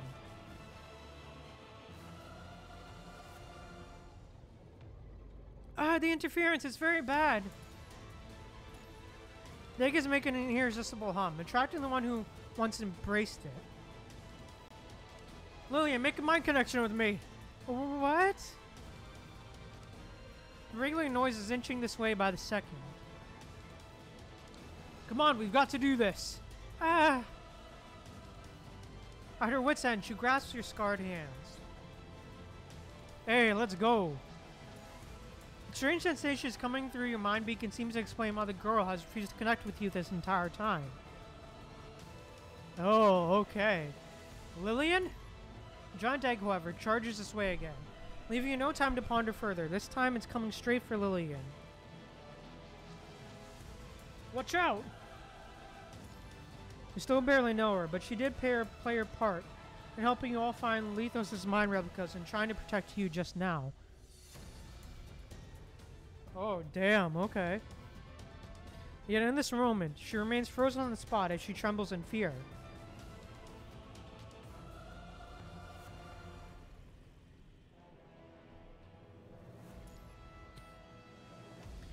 Hearing the gunshot, the egg turns around immediately, sending her last bullets flying straight into the empty tunnel. the tunnel starts shaking so violently that it looks like it might collapse any second. Having regained her composure through the mi mind connection, Lamia quietly counts her blessings. Hey, let's go. Let's run! There's still hope as long as she can get out of this place. She can live on as Lillian. But where to? To... In a panic, she frantically tries to look for a way out. Lillian! Like spectators, spectators in an arena, the monsters make no move whatsoever as they watch the two of you struggle to find a way out. In the dim light, the hunter walking right in front of you throw, throws a throws out her pet, while she circles leisurely, leisurely around her prey behind. Yo, this is so damn intense. Holy. And the music is really helping that, honestly. Like, holy.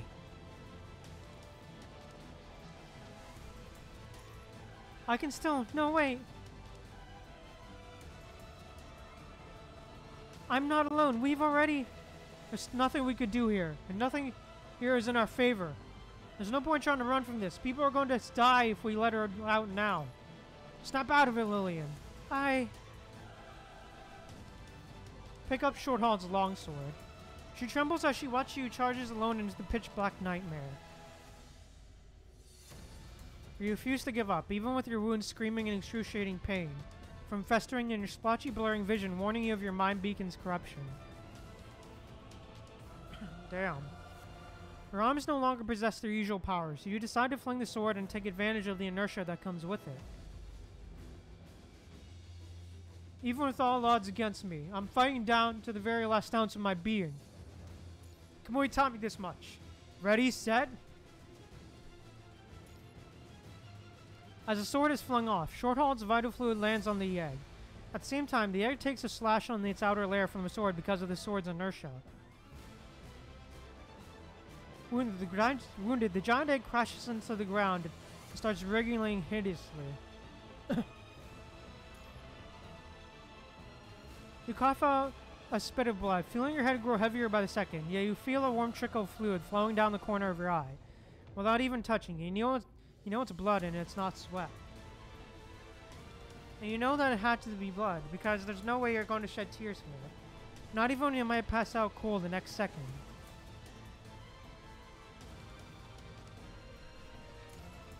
The dark space around you shackles again. Shakes again, the monster apparently having sensed something coming its way, steps back wearily, leaving Cathelia pausing her movements temporarily. Hey, let's go. It's now or never. Rising the sword, raising the sword again with every last ounce of your power, you deal another blow at the egg that's still struggling. The sword pierces through the giant egg and nails it firmly into the ground. With it, the egg lets out a sharp cry, to the point of being ear-splitting. the cry alerts his mother, hesitating no more. Cathelia walks over this way, its hurried footsteps. Three bullets left. You raise your hands now feeling as heavy as rocks and train your weapon squarely at Cathelia, who's coming straight for the egg.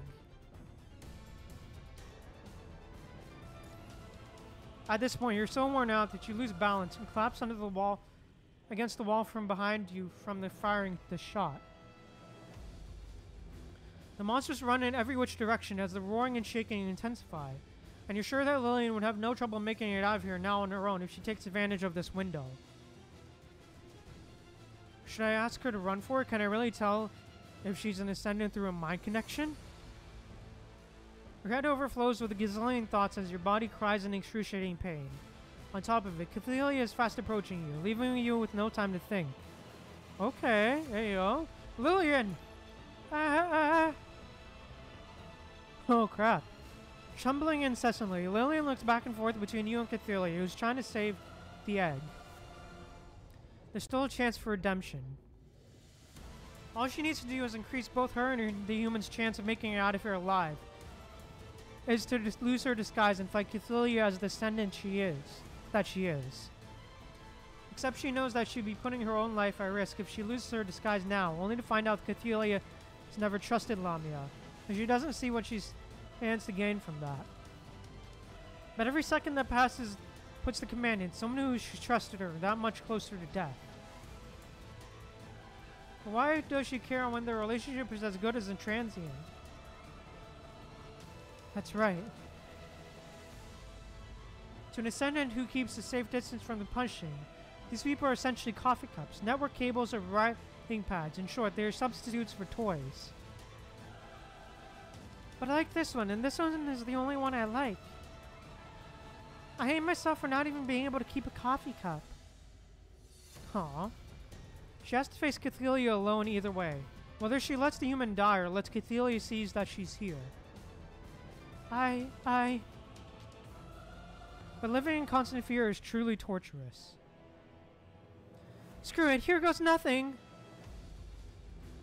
She screams hysterically as she charges toward that which she knows she has no chance against. Hey, let's go. A split second later.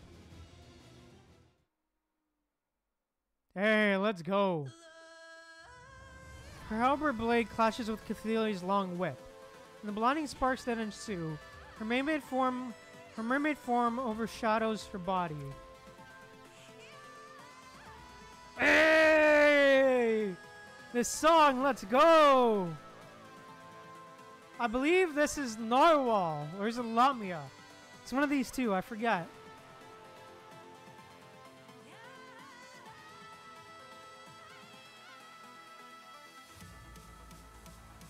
Yo, this song, man, let's go!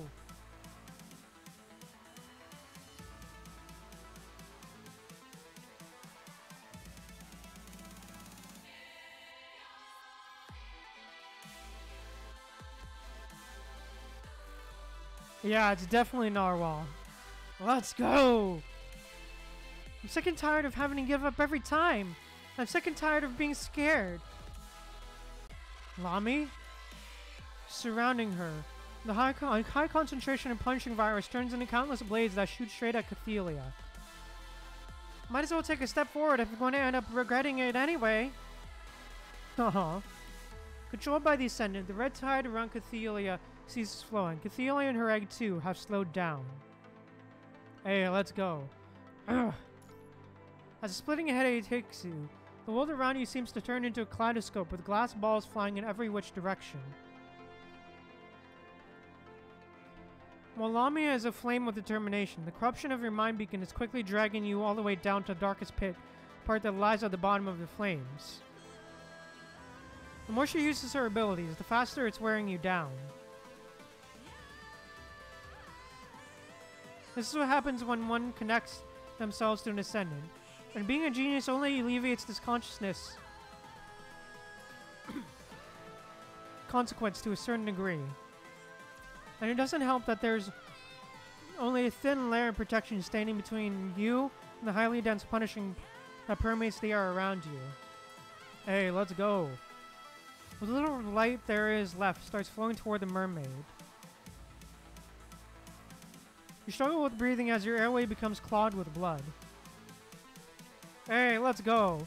No longer able to keep yourself upright, you, you collapse against the wall. the world around you shakes more violently by the second. It probably won't be long before this place falls apart.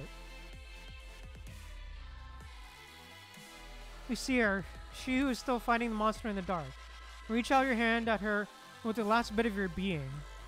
Let's go. Lamia. With it, your consciousness shatters into pieces, and the world around you grows twisted, crumbles, and sinks. Let's go.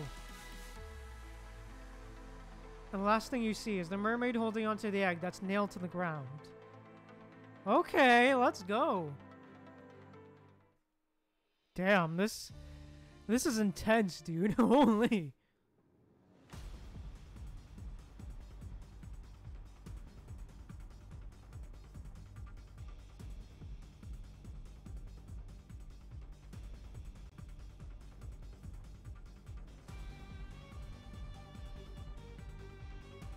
Yeah, dude, this chapter is just going crazy.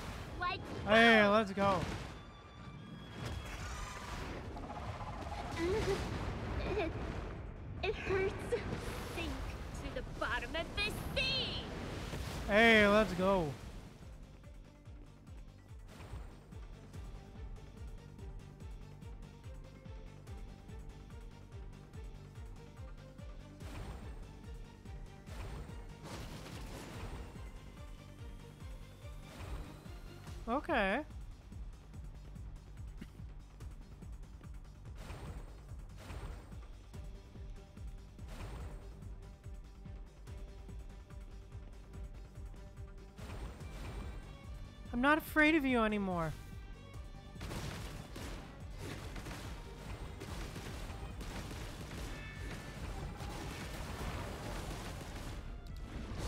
Hey, let's go. Get out of my sight! Scatter like boom! it, it hurts.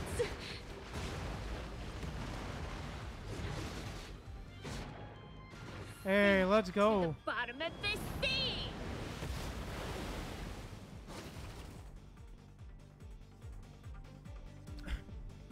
Hola, Cesar. Hola.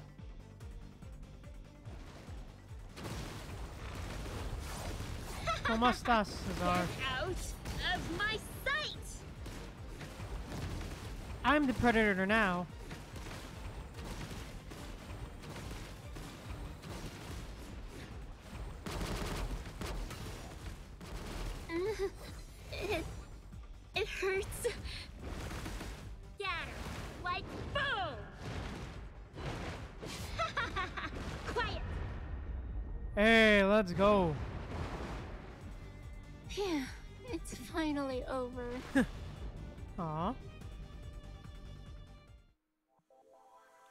Was cute.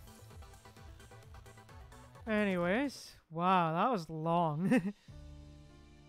that was long as hell, man. Holy. Um, yeah, well, that said, I'm just gonna take a little bit of break. I'm just gonna grab a bit of snack, so I'll be back in a sec. Hi everyone, sorry for the wait. We're back. Sorry about the wait and the long wait, but uh, we're back. And we're rested and we're ready to go. But yeah, man, that. I want to talk about that previous node first, man. That was insane, dude. That previous node was insane, bro. It was so intense, man. Like, holy hell. Like, wow. Like, my goodness. And the music was insane as well. The music was outstanding as well, man. Just, just wow overall. But yeah, with that said, let's move on to the next node. Deep sea suffocation. Let's go. Well, that sounds ominous. You're neither Cathelia, who tends to slowly lose her mind if she loses the egg, nor Lamia, who thrives within the egg. The collapse sends you straight into the pool at the bottom, tumbling into a deep well along with the current.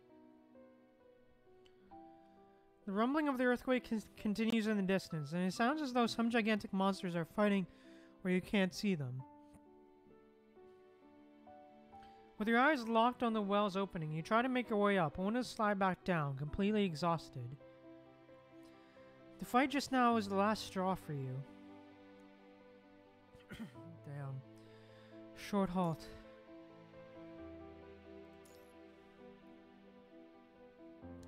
You've been relying on him since you came to. You find yourself not knowing what to do, having never thought you'd have to say goodbye this soon. Damn. Valeria. You don't know much about Scarab, save for the few times you've seen Command Commandant Valeria walk alongside the rest of her squad. Death is commonplace on the battlefield, but many st- have still yet to grow used to it. Reach into one of the pockets. It sits there. Sit, in there sits a candy he left behind. Damn. The cool peppermint with a hint of alcohol restores some of your cool. You you clutch onto the candy wrapper and put it back into your pocket. I've got to find your name tag at least. Your body, however, seems to be failing you. You feel as though you're being skinned alive as your clothes rub against your wounds, and the cold and tumbling slowly stop you from moving. A fever? When you put your hand onto your forehead, however, you feel a slimy lump of red. It doesn't help that your mind beacon hasn't gotten any better, and many negative and violent thoughts are now adding to the chaos. Except Lillian doesn't seem to want to let the connection go. Never knew Ascendants could do this.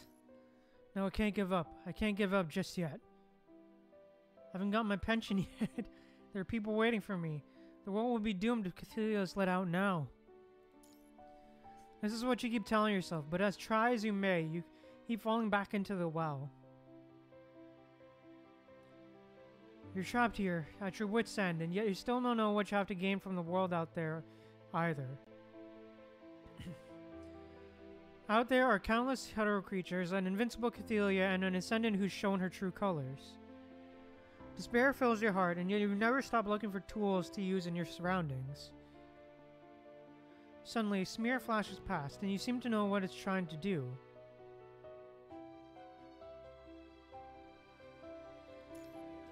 In the corner, it moves back and forth as though trying to show you something.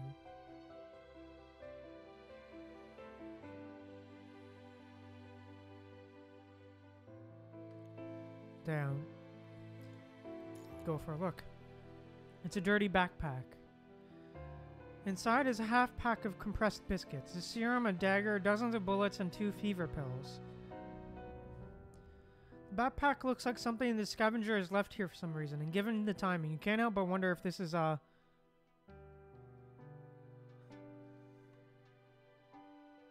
Oh, shit. Yo, that's actually interesting. Holy. Trap, feed. Yo, that's feed. Be that as it may, you know that you don't have the luxury to just walk away from the backpack now.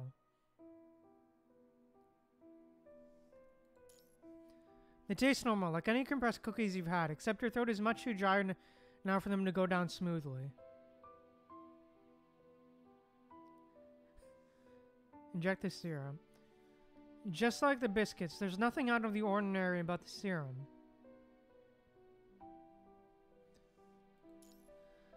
With the biscuits, the pills begin to tear at your throat.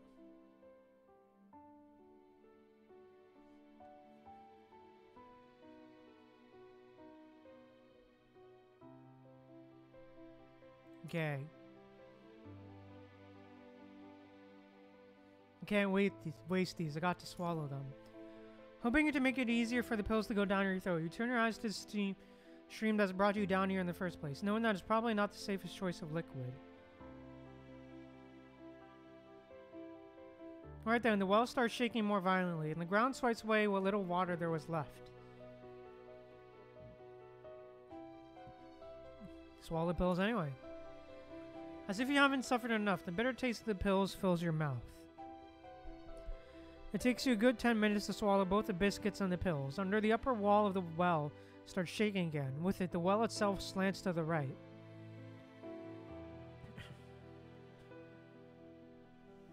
Look up. Some sea water streams down this way through an opening on the well's wall, bringing it with a half-filled bottle of water and a pack of bandages that nearly hits you.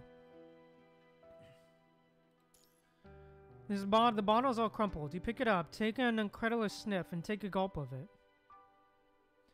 Like everything you've found in the backpack just now, there's nothing out of the ordinary about this liquid. What strikes you as weird is the well itself.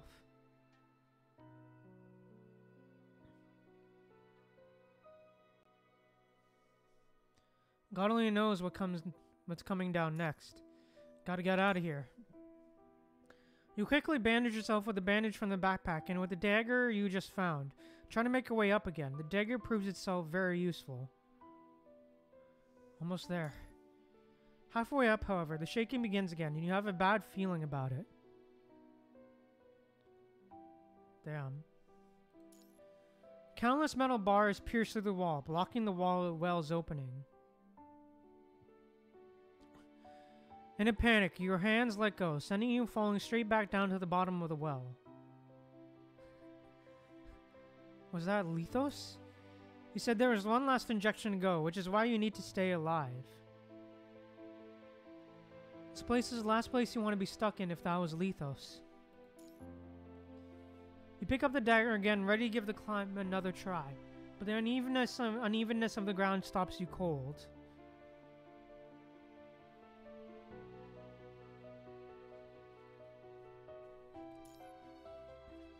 And light coming down through the wall's opening, you feel the ground and notice that the protruding parts seem to form a line of words.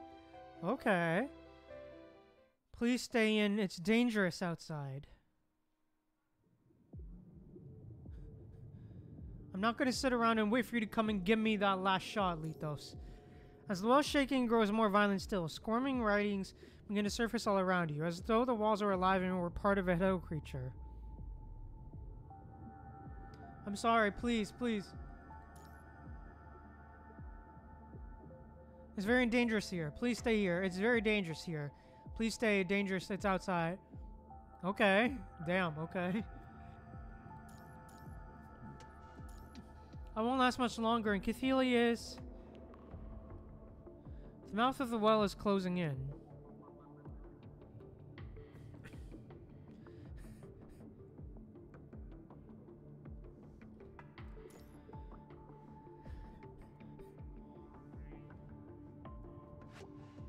Before, before, please stay here. It's too dangerous outside. The words sound like a plea of a dying man. Damn, okay. I'm sorry, please. It's very dangerous here. Dangerous, dangerous. The words on the uneven walls scream out, pleading for the humans here, humans here to stay. Fine, I'll do as you say. I'll stay. The tremors all around gradually subside as the mouth of the well returns to original, its original state, as if understanding what you've said.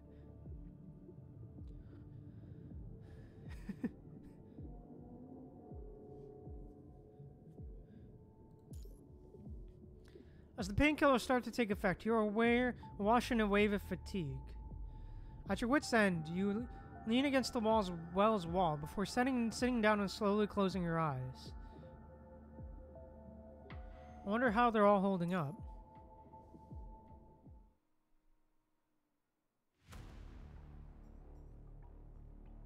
Okay. Gray Raven commences a blanket search of the in the designated area, locking onto an abandoned hospital as their target. Sneaking on into an underground morgue, Liv discovers a hidden door behind the freezer of the 13th body. Okay.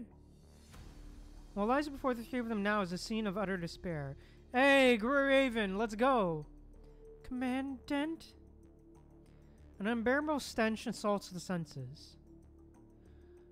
Behind the hidden door is a room with six bodies, all bearing the same face. Some of them st are stiff, while some have started to decompose. Others are still bleeding from their wounds.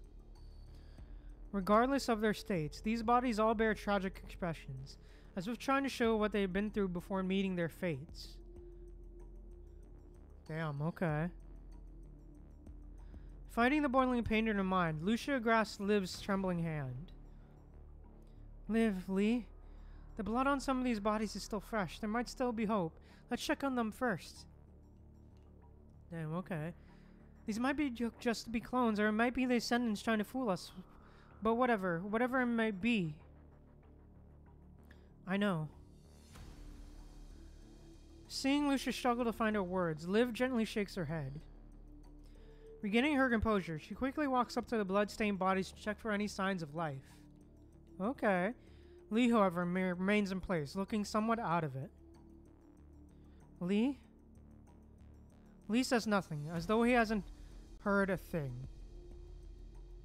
Lee! It's only when Lucia jolts him by the shoulder that Lee finally seems to snap back to the present from a distant past. Let's check the other rooms. We're not giving up any hope. With a nod, Lee quietly leaves the pool of blood behind. He didn't give up, nor was he crushed by what he'd seen. He was just feeling overwhelmed by a familiar heartache. Aww. What he doesn't understand, though, is why he's finding it familiar. Oh. Crap. Breaking through the partition wall covered in dust, the trio finds a clean space beyond the stench and bloodstains. In the space are rows of empty cryogenic chambers, and the only one at the far end of containing a person who looks exactly like their commandant. The commandant is still alive! Lucia, call for backup! Called them the moment we entered. They're on their way now. But is this really okay? The three look at the body before them, still with a heartbeat, and exchange silent glances. Can they really turn a blind eye to that certain question they haven't been, haven't been able to answer if their commander never turns up again? And just exactly what would they have to do with this look like on the off chance that they found their commandant soon? After a long silence, the three decide to leave these questions unanswered. The Commandant has only been missing for 16 days. Is that really good enough time for someone even with growth drugs to go from birth to the state this clone is in now?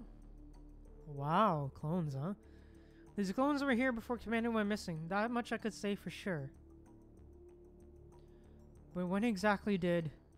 Wait, we can hack into this terminal here. Lee brings up a projection keyboard and inserts his storage device into a terminal. After quite some time, surveillance footage from a while back is recovered. Okay. The footage shows Lethos overseeing a couple of constructs as they move a large machine in here. What is that? I know what it is. It's a memory synchronizer, and Professor Hippocrates has data on it. Memory synchronizer? Yes, it synchronizes memory be between two brains. It was used during the Golden Age to treat amnesia, and in some illegal research, it, it damaged the brain easily, though they so they stopped using it. In the footage, Lethos gently, cr gently caresses the machine, muttering to himself. Now I'll have to bring you all here from Fort Winter. And this is where I'll be giving your memories back to you. Let's hope this machine still works. I'm sorry it took me that long to finally notice who you are. The footage ends here. Damn. Fort Winter, uh, if what he said is true, that means these people were created before the commandant went missing. Wait. A human skeleton. They lost all patience. I saw a human skeleton near the access device when Alpha and I were at Fort Winter. Is that when... Human skeleton, as in all bones and no flesh? No, it couldn't date it because it didn't seem like it had decayed naturally.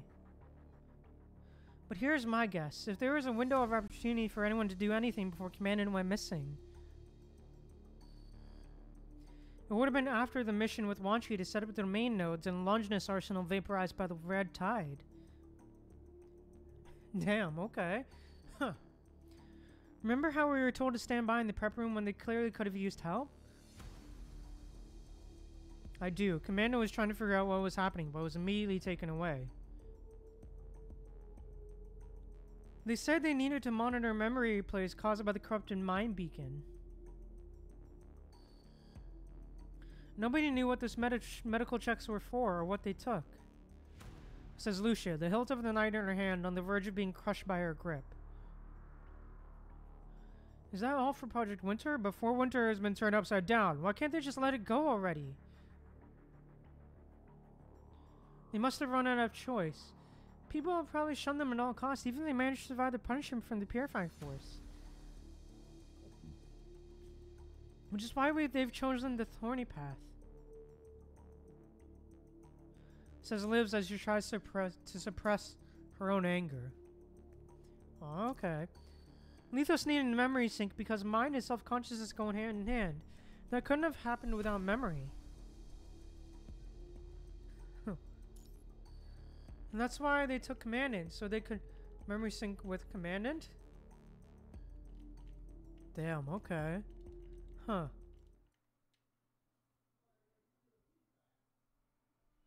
I'm sorry, mister. I've lost track of Noctis, and Cathelia has gone berserk from being awakened prematurely. While you, severely injured, are fast asleep at the bottom of the well, Lethos is reporting the situation here to his agent amidst the chaos. Ah, Vonnegut. Vonnegut says nothing, waiting for Lethos to finish delivering all the bad news at once. He knows well that Lethos wouldn't have come to bother him if there was a, if there were a workaround. The three of them orchestrated an explosion, destroying all the mind backups stored nearby Cathelia. I can't keep her stabilized anymore with my replicated mind. The replicated mind was never stable to begin with. It was only meant to serve as a sedative while Cathelia was asleep. It's supposed to crash and burn as soon as she awakes.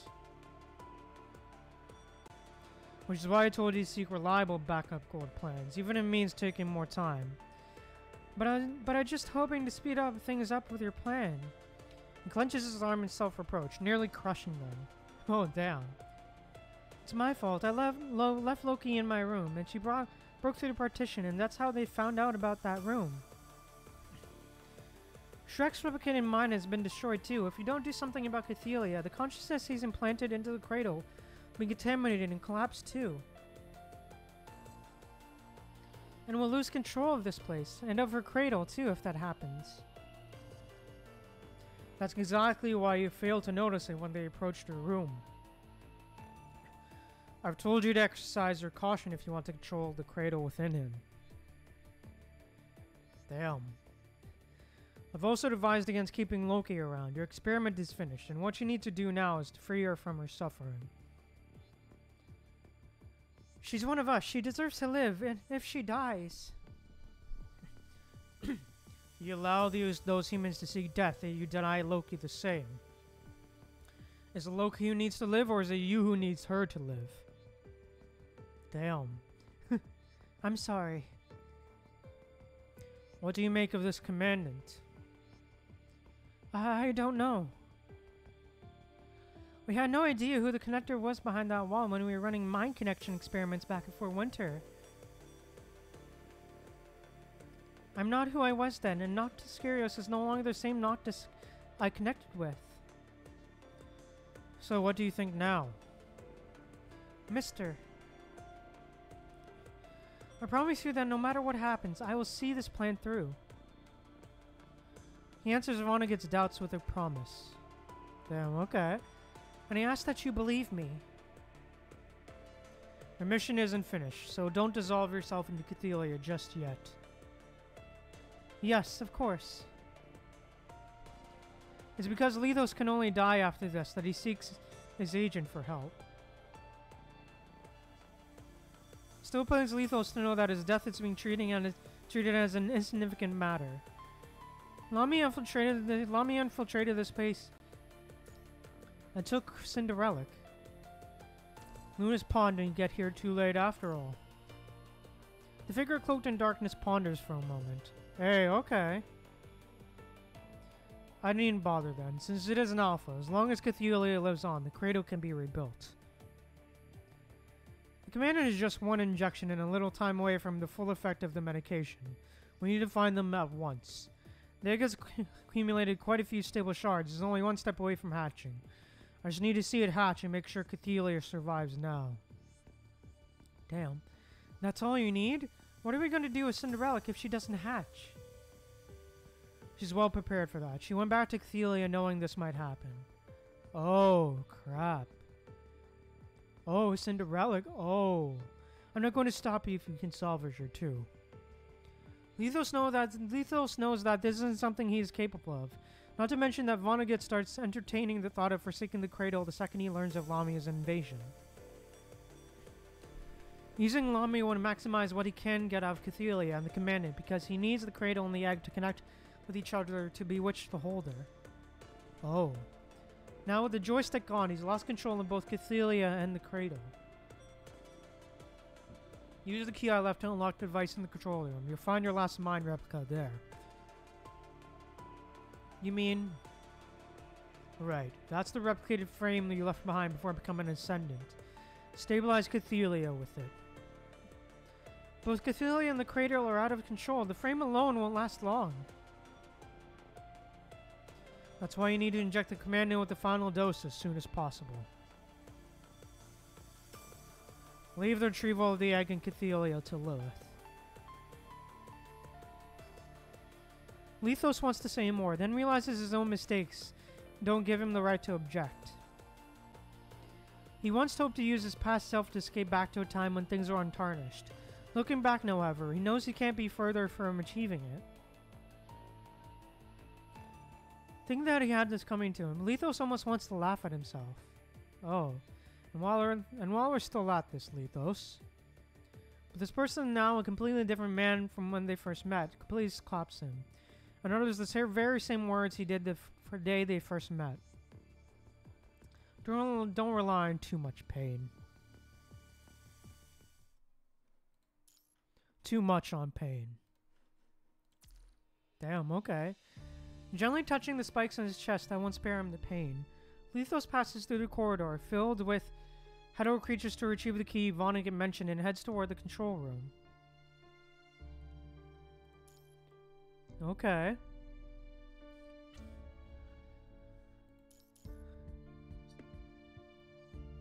As he walks, he removes the hair accessory from his head, shedding the long hair and dress that belonged to Rose, and with a sigh, changes into the clothes he used to wear at the orphanage. Oh, crap. I'm sorry, Rose. I, th- I might look like you, but I still have a hard time bringing myself to like myself. And pain is the only way I know to seek forgiveness. Oh, crap. Let me be the person I was and face the person I was then. Until now, Lethos has been relying on pain and self punishment to stay lucid. This is the mind beacon Lethos has always been attentive to, and has come he has come thus far walking down his own path. And while Lethos has been replicated more times than he can ever recount, this individual known as Lethos will always remember. The that very moment when Paper Crane, a medical chair a kind-hearted donor had given him, was turned into a punishment chair. Damn. All those painful times he said he has had to live through after becoming ascendant, one of which is that time he fell for Ravage's trick and accepted his help. Oh. All the fathers from the orphanage and everything Ravage has done. And how all the unbloomed flowers were nailed to the paper crane before they had their buds forced open and pis- pistols plugged again and again until they became specimens or toys. They said they were doing it for his good, claiming that they loved those little buds too much to ever want to hurt him. Them. Now grown up himself, Lethos equates intense, painful tug at his heart with love, having never truly experienced love in that distorted, sequestered paradise. The more intense the pain carved into his soul, the more genuine his twisted confession. Yeah, that's really messed up. That's an honestly really messed up. yeah. That's most definitely a really messed up way to view love. and all of these have turned Lethos into the person he is today, one of which, one who would feed a rabbit a piece of flesh, he cut him off himself. I did it for the rabbit. I can I can't just sit around and watch it starve, can I? But what becomes of the rabbit that's tasted flesh and blood? Lethos's love has led him nowhere, much like this path that has taken him this far as an ascendant. He sets out hoping to see a brand new future, only to find himself wandering further into the thorns and fog. He knows only too well that a villain won't stop being a villain simply because he's been victimized, which tears his soul in half. He is Lethos, and he is also Father's. He's become an offender since he was made a victim. He wishes they could all live peacefully, looking forward to tomorrow, instead of having to trek to the long, twisted river that's the Ascension Network, and hurting so many people along the way. Having been raised by his fathers, Lethos doesn't know how to go about his life in ways his father has, has never shown him, which is why he sees that what he's doing now is the best way out. But the disaster train leaves no time for anyone, that he needs to act now. And to that end, he doesn't care how many people he's going to hurt, so long as he keep a handful of them safe. This is the kind of filtering that Lethos stands by. He's been tormented by what he has done, and he resorts to lying to help himself feel better. He's been telling people that he's doing these things for their good, and that they have to do this do as he says to survive, to the point he falls prey to his own lies. Damn. Dying on a periodic basis helps get these heavy emotions off Lethos' chest, as much as he knows that this is but a temporary gateway. His, his an idea of an ideal death would be would be to get torn and crushed completely alongside Paper Crane, all the while consciously enduring a torment a thousandfold worse than what he had to in the past. It's only through pain so excruciating that he thinks he can find temporary forgiveness in himself for himself. Damn, okay. It's only then that he bid a, grace, bid a graceful farewell. Wow, okay. Damn. I did not expect to, for them to try and get us to sympathize with Lethos, man. I actually did not expect them to do that. That was wow, wow. Was not expecting the whole sympathy card. Damn, okay. Huh. Just wow. Man, it's kind of sad because he didn't get to grow. Lethos didn't really get to grow up as a normal child and understand what true love really is. And like, it's kind of sad that his twisted form of love really did that to him. Really. Just wow. It's kind of understandable now why he acts the way he acts. Because he's acting off of a acting off of pain and a twisted sense of love. Just wow. I don't forgive him though. I don't forgive him though. But yeah. Let's move on to the next one then. A fish back in water. Let's go. The torrents of fate drag in, into the deep sea all those who have drowned, suffocated, they're all on the verge of death. Okay. An endless despair, only one feels reborn. I can do all these things now. It has hit her that she's in control of everything, so long as she holds onto the strange looking red giant egg in her arms. Neither the entangled sea anemones nor the arrogant seafarers can hope to stop the weapon in her hands. This egg, what exactly is it? Cathelia can make it an attack out of its own accord and can make me as an ascendant more powerful with it. Strange how those hetero creatures can't use it, though. She holds up the giant oddity for a good look. Okay. Oh, wow. she finds, her, finds herself drawn to it the longer she keeps her eyes on it, her mind seemingly swaying like flickering flame in the wind. Had it not been for the mind connection of that commandant, Lamia is sure she would have been swallowed by the same illusions that had engulfed her before. This time, however, she is able to see past those illusions with a loosened mind. Okay. This reminds me of the little match girl. In the story, the warmth and light coming from the match gives the girl power to fight back. Lame reaches out to spite herself, her fingertip gliding over its translucent surface. And at that moment, the egg, like a struck match, draws her into a dazzling shopping street. Wow. That is beautiful art, man. I love it. Wow, just contrasting colors, too. Wow. She's tempted to reach for the goods. Hmm? A sudden chill makes her shiver. Lamia walks down the nearly frozen street. Her consciousness is fragmented like a scavenger's clothes. Guided by the mind beacon of that certain human whose whereabouts have become a mystery, Lamia makes her way into the street and the illusion. She looks at the phantoms on either side. Feels like a kaleidoscope, reflecting a colorful world with omnipotent doctors, endlessly dry food, bright classrooms, and intimate friends. They almost seem like they came straight out of a child's straight out of a child's imagination. Young Lamia looks enviously at these things she once longed for as she lingers by a few phantoms showcases. She wants these wishes that these phantoms are displaying to come to her side. If only all of this were real. Lamia once again raises the egg, match. When her fingertips skim over its surface, a faint red glow comes to life that shows the phantoms, showcases. Instantly, the illusion becomes real and tangible. Like a personal shopping guide, the egg starts showing Lamia the life she yearns for.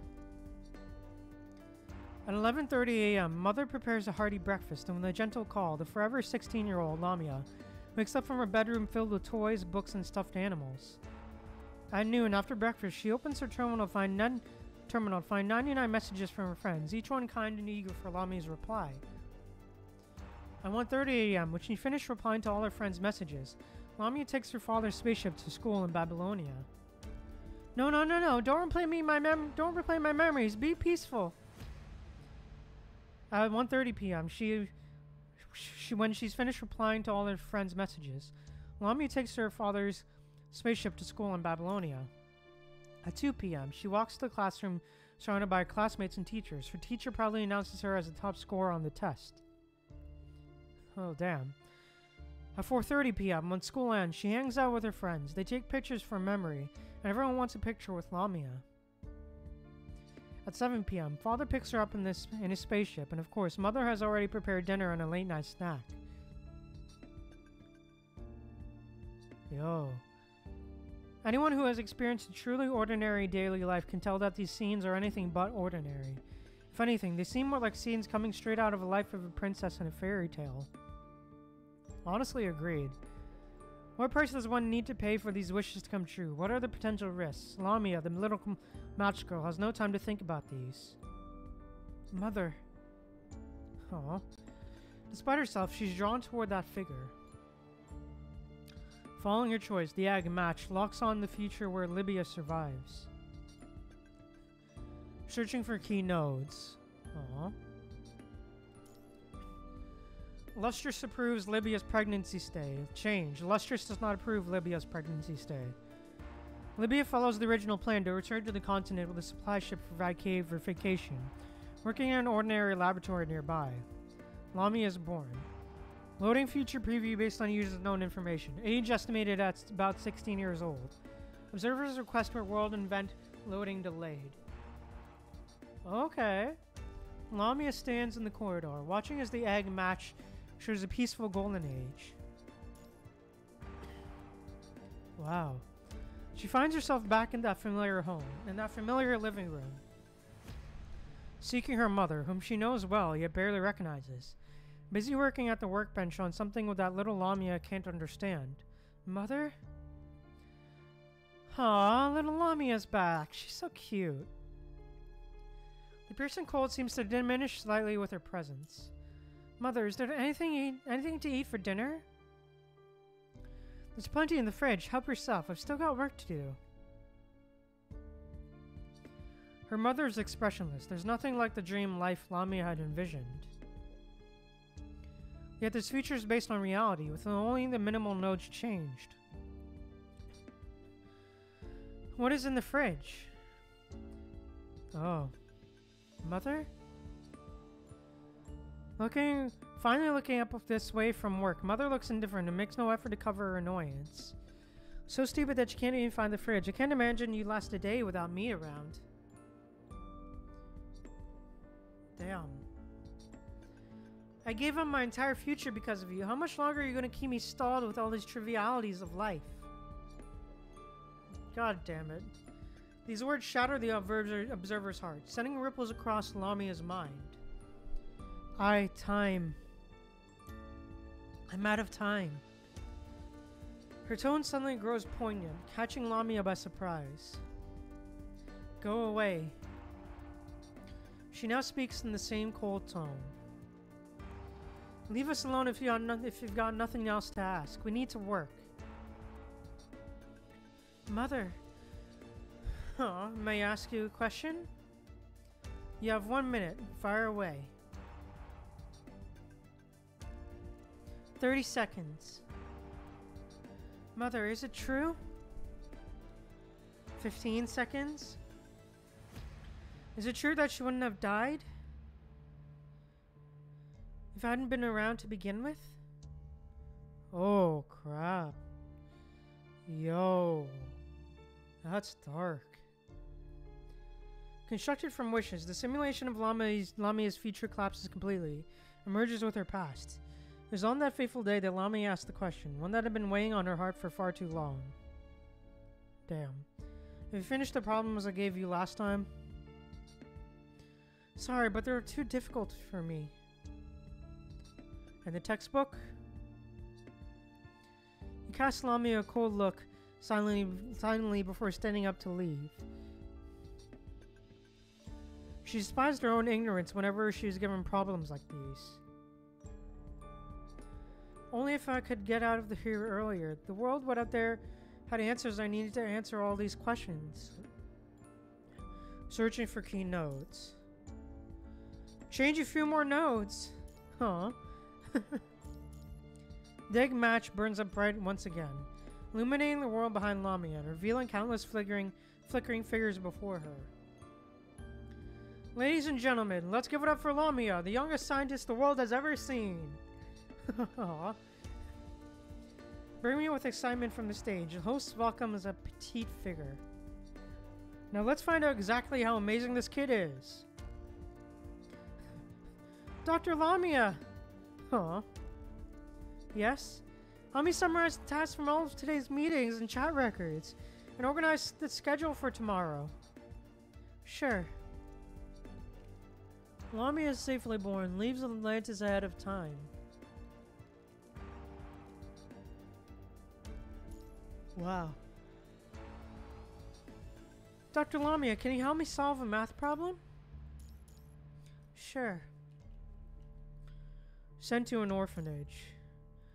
A passerby enjoying an ice cream walks by the television as Lamia's exciting life unfolds in it.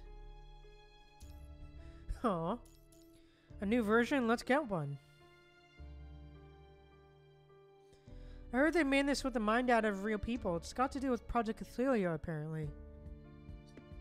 Really? I didn't know that. Did you hear that? If you don't want to go to school and just wait for some magic to fill your head with knowledge, you'll end up in a jar. Turned into a service AI with a bunch of other people. And now comes the blind jaw for Dr. Lamia. We've got a classic human gray, playful monkey pink, and even a mermaid edition the world has yet to see. The audience's applaud could be heard from television as a terrified child starts crying out loud amidst the cheers. The camera isn't showing Lamia's face, but the child's cry already speaks volumes for her. Yo, that's so messed up. Order now at all major major specialty stores. Dad, look at this! On the bustling street side, a girl passing by the window laughs as she pats the head of the product, me. Become a candidate for mind data human experiment experimentation. This looks like a monkey. Oh wow. Experimentation and commercialization successful. Damn, dude. Just damn.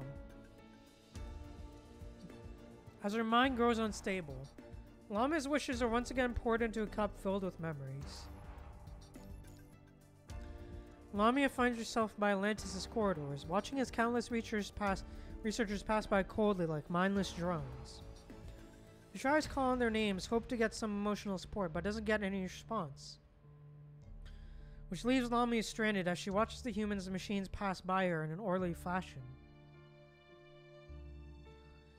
And when they pass her by, they move around her, reminiscent of cells avoiding a blood clot, clot still in the process of forming a blood on a blood vessel, or tourists passing by an animal's cage.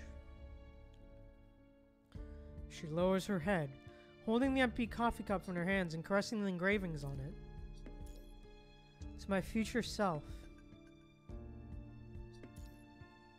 I want to be like everyone. I need to make it happen. It's her yet to be realized wish in a form of a bunch of crooked letters paired with a meaningless, meaningless layout. Want to bet on, bet on your luck? Want to bet that you'd be sent to a legal orphanage instead of getting dragged in some, into some inhumane experiments? Luck, huh? As long as she has luck on her side, nothing bad is going to happen to her after she gets out of this place. And she'll finally be able to go to school, which she read about in the books. That's where she can enjoy bathing in the sunlight and listening to the calls of cicada and the laughter of people. Aww. But the teachers would start with the basics and guide them with patience. It's okay if mother isn't perfect, as long as I get to live ha- the happy life of a normal person going through school. Damn. The egg match grows red in her arms. She pats it devoutly and closes her eyes. All of a sudden, through the afternoon sunlight and the calls of cicadas, a piece of chalk comes flying at Lamia, who sits in the second row and lands squarely on her. Huh. Aw. Lamia, daydreaming again? The entire class burst into anger. Laughter. No, it wasn't. The answer then answered the question I just went over. Uh. She frantically picks up her textbook and flips to the right page, even with the gentle reminders from the desk next to her. She still can't answer the question. You're just not cut out for this. Your mother signed you up for this intensive program, thinking her daughter is oh so knowledgeable. I'm starting to think she's intentionally putting either me or you through this suffering. In her silence, the entire class burst out la- laughing again. The cozy sunlight, call of cicadas, and laughter of friends, everything is as she has hoped for, yet falls short of her expectations. There's a rare opportunity. I need to make it count. She picks up her textbooks, studies, practices, and then dozes off again.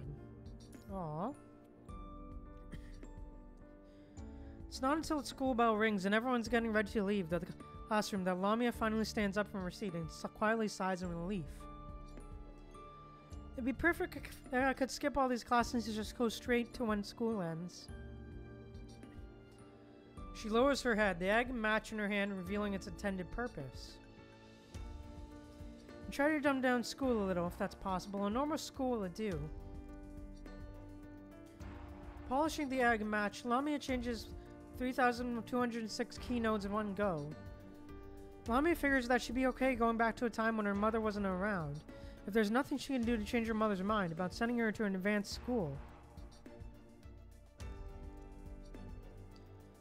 Humans of the Golden Age didn't yet master this technology to control time, but Lamia is sure that she can count on people in the future, and that egg match will take care of that just fine. And she decides that she's not going to bother with the number of changed time nodes she's seeing on the Phantoms, since she doesn't see what impact they may have. Damn, okay. She knows her wish has been fulfilled when the dreadfully tedious classroom disappears, leaving her in the after hour tranquility. Lamia had finally found her long awaited peace and happiness, as well as the life of an ordinary person that fits her definition of ordinary. As the four seasons fast forward, Lamia goes through college and enters the workforce. She's now a tour guide working at the Copperfield Aquarium. wow. Isn't, ain't that ironic? it's a bit ironic, not gonna lie. she finds work more tedious than school, and she curses her life even when she only needs to show three visitors around a day. Before she knows it, however, that fateful day comes. The alarms that once flooded Atlantis are now blasting through the aquarium, letting everyone know that the punishing virus is here. The visitors and staff run for dear life in every which way. Standing in the escaping crowd, Lamia tries to fast forward time. Once we realize the world becomes ravaged at a faster pace as she does not as she does so. Wow. She doesn't want to be a construct again and dies in the hands of a cleaning robot while fleeing. Damn, dude. Huh. If only the punishing never happened. Lamia's desire inflate. Desires inflate. When she once again raises the omnipotent egg, the punishing virus, the phantoms offer no answers. It, Tower, can't erase its own existence nor the punishing. What do I do now? Going through her memory, trying to find someone else she hopes she can talk to, she, she suddenly recalls Roland. I wonder what Roland would do in, with this opportunity. With a snap of her fingers, Roland materializes before her. You're lending me this egg that we can fill that can fulfill any wish. It doesn't exactly fulfill any wish though, which is why I want to see what you would do. Well. He takes the egg and without a moment's hesitation chooses to fulfill a childhood wish. Okay. Oh, that's how um, that's specific. And just as Roland has hoped, his life progresses without any hiccups. A life devoid of lies, falsehoods, and drama, mundane and ordinary to the core. He stays by his mother and brother, repeating daily chores, schoolwork, and childish games, living a life with the end visible at a glance. Do you find? Don't you find it boring? Deeply engrossed, Roland says nothing. But what would you do when the punishing hits? Damn. She was hoping Roland would show her what to do, but on the day the alarms echo through the square, Roland simply makes the same dishes as she does, more candidly than ever. He bids farewell to his loved ones, then waits for death to come knocking on his door. Wow, this is kind of depressing, not gonna lie. This is really depressing. I think that's pretty much it. Aw. Roland shrugs. They abandoned me in the real world. You might be looking at a different script here, but lies are lies all the same. It was a great dream, and I really enjoyed it. Can I lend you the egg, match, and ask you to give it another try? You want me to relive the lies? He bursts into laughter and immediately sets up an accident. Huh. okay. In a few simple moves, Roland turns his half-year-old self over in the cradle so he faces down. And all ends even and it all ends even before it st even starts. It's over. Over. In the empty corridor, Lamia finds herself all alone once again. Damn, dude. Wow. That was just wow, man. That was kind of depressing, I'm not gonna lie. Yeah, just overall, that was just kind of depressing. That node was just kind of depressing, really. Just seeing what Lamia really wants and really just her true desires, man. It's, it's just sad that she'll never get to see her potential futures. Like, damn, dude. I really feel for Lamia, man. Just damn, dude. But, uh, yeah, I think with that said, I think I'm gonna end stream here for today. So, yeah. Overall, man, I really enjoyed the story that we did so far today, man. Like, it's been really good. Like, super good, man. Like, especially this node here. This node is when it real, real stuff really kicked into gear. And really started to go crazy. And I love it. Just the music and the art and just the storytelling, man. Holy crap. Just wow, man. Just, yeah. And also, I don't know how to feel about trying to get us to empathize with Lethos as well, man. Like, I don't know how to. I don't know how to feel about that. In all honesty, because he's a bit of a little shit. Honestly, he is a bit of a little shit. So yeah, I don't know how to feel about them wanting to get us to empathize with him. But overall, I think they did a well enough job to get that empathy from me. But yeah, honestly, these last few nodes have been just beautiful and just amazingly beautiful, man. I loved it. Just wow. Overall, dude. Just, I can't say more good things about it because it's really just super good. And I loved it. But, uh, yeah. I think with that said, we're going to end it here now then. So, yeah, thank you guys so much for tuning in. I hope you enjoyed. If you did, please drop a like on the video and the stream. And also, if you want to see more, please subscribe and drop a follow. And also, leave a comment of what you thought of the stream in the comments below. And thank you guys again so much for tuning in. And remember to stay humble and be kind to people.